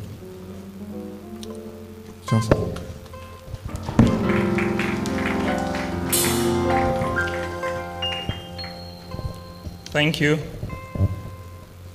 We're trying to round off now. You may please be seated. Let's listen to the following announcements.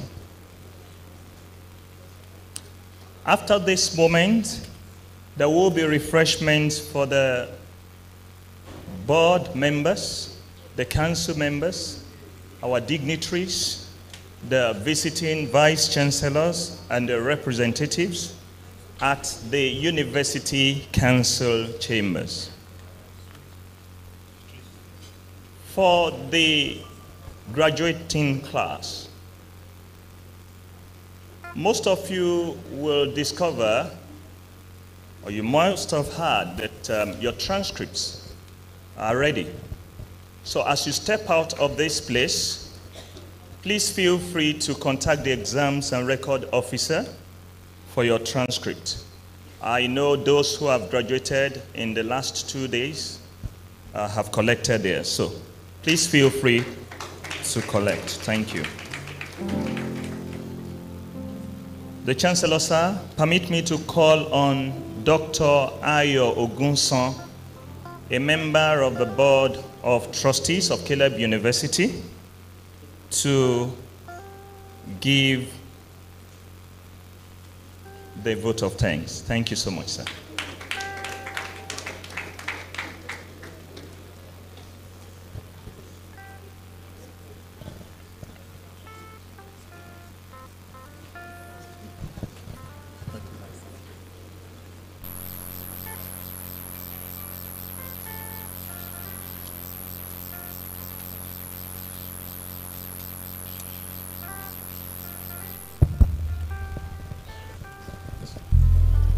The founder of this prestigious university,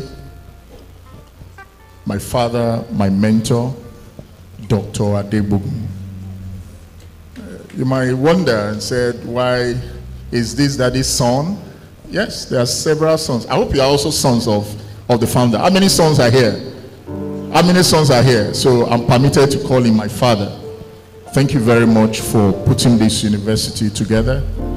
The Chancellor of the University, the Chairman of the Board of Trustees of the University, the Chairman of the Governing Council, very eminent personalities present here, my colleagues, members of the Board of Trustees of the University, the two very distinguished awardees that we have here today, very great mentors. Uh, now, Dr. Dele Alake, no more Mr. Dele Alake. Yes, Dr. Dele Alake, sir.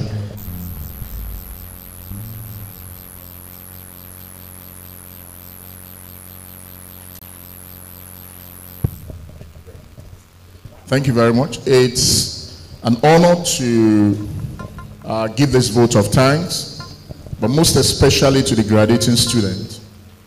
My advice to you as you move on now is simple. This is not the end. This is just the end of a new beginning. Don't rest. You are just starting. You've gotten your degrees. Fantastic. But a lot lies ahead of you. Let me remind you, and it will surprise you to know that sometimes the best students on campus are the graduating ceremony like this, most times, most times, they end up not succeeding out there in the bigger world. For those of us who are out there, you will know those third class students, those second class upper students who understands that this is just the end of a new beginning. They are just starting. And they feel they have not done very well. Some of them will just shake off themselves, get focused, and before you know that, a first class product will begin to bow to those ones when they meet out there in the compete in a very very competing world. Your story won't be like that for the best graduating student. Be smart. Take on the bull take on the strength face it squarely and do well. For those of us who feel you have not done very well i tell you excellence lies ahead of you. Please let god be your strength I was a bit emotional there, and I missed the recording of the presentation done by the best student, best graduating student today. I have three daughters, and they are very much aware that I'm coming for this convocation ceremony. I've been recording all the proceedings, but I missed the proceeding of that young lady because it's very educative. It's something I love to play for my daughters that you can strike a balance between your academics and serving God. I practiced the same in school. To round up, during my higher institution days, I was the general coordinator of the campus fellowship. I was the general coordinator. And then, right from secondary school, the secondary school, I was a president of the school fellowship, and at the same time, the head boy of the entire school. So I understand what it means to strike a balance between your academics and God. And when you marry the two together, the sky is never your limit. I left secondary school, I proceeded to the higher institution, I maintained that. I was the, the governor, virtually in all the classes, at all levels. I was the governor of my class and I was the president of the school fellowship. I, it's, it's a journey that I love to see that will emulate and do similar things. And I'm so excited to be here today to see a young lady who could attest to it publicly that I combined academics with God, and today the reward is it's it's it's limitless. Congratulations and con- congratulations for those who have done the same, and for as many of us who are seated here who have not seen reasons to allow God in all that we do. I challenge you to please take this uh, opportunity to to tag and log in on. My prayer for you as you go is God will go ahead of you. God will support and accompany you all through your life's journeys. and He will be there to guide, to assist, and to lift you up. As God blesses you, don't forget this university. Remember to add value. Don't forget where you start from. Once again, I welcome all our parents who witnessed today. God bless you all. You will see more good days in Jesus Christ. All the children that you are looking up to God to, to experience what ones are join today, they will in Jesus' name. And when it is time for you to see your children celebrated, you will not be found wanting. And finally, I hand over the university into the hand of God, and I ask that the university will grow from strength to strength. Once again, thank you very much for coming, and as we go back, God will go with us. Thank you very much, and God bless you.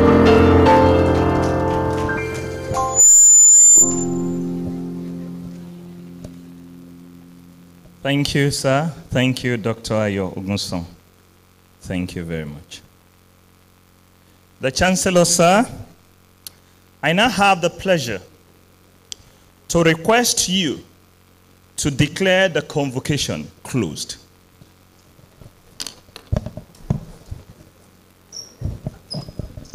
I now declare the convocation for the 2021-2022 session closed.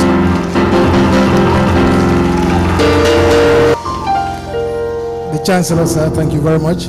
Distinguished ladies and gentlemen, as you heard, the activities and proceedings marking today's and indeed this convocation's outing come to an end right away. We have spent some time today beyond and over our plan and expectation, but I tell you the time has been very well spent. Let me very quickly commit to you the piece of the Bible which says, Better is the end of a thing than the beginning thereof. Think about it, meditate on it, let it drive and inspire you, especially our graduates. Having said that, let me invite very humbly our DVC uh, Research, Innovation, Strategy and Administration, Professor Olalekan Asikhia, to say the closing prayer. The DVC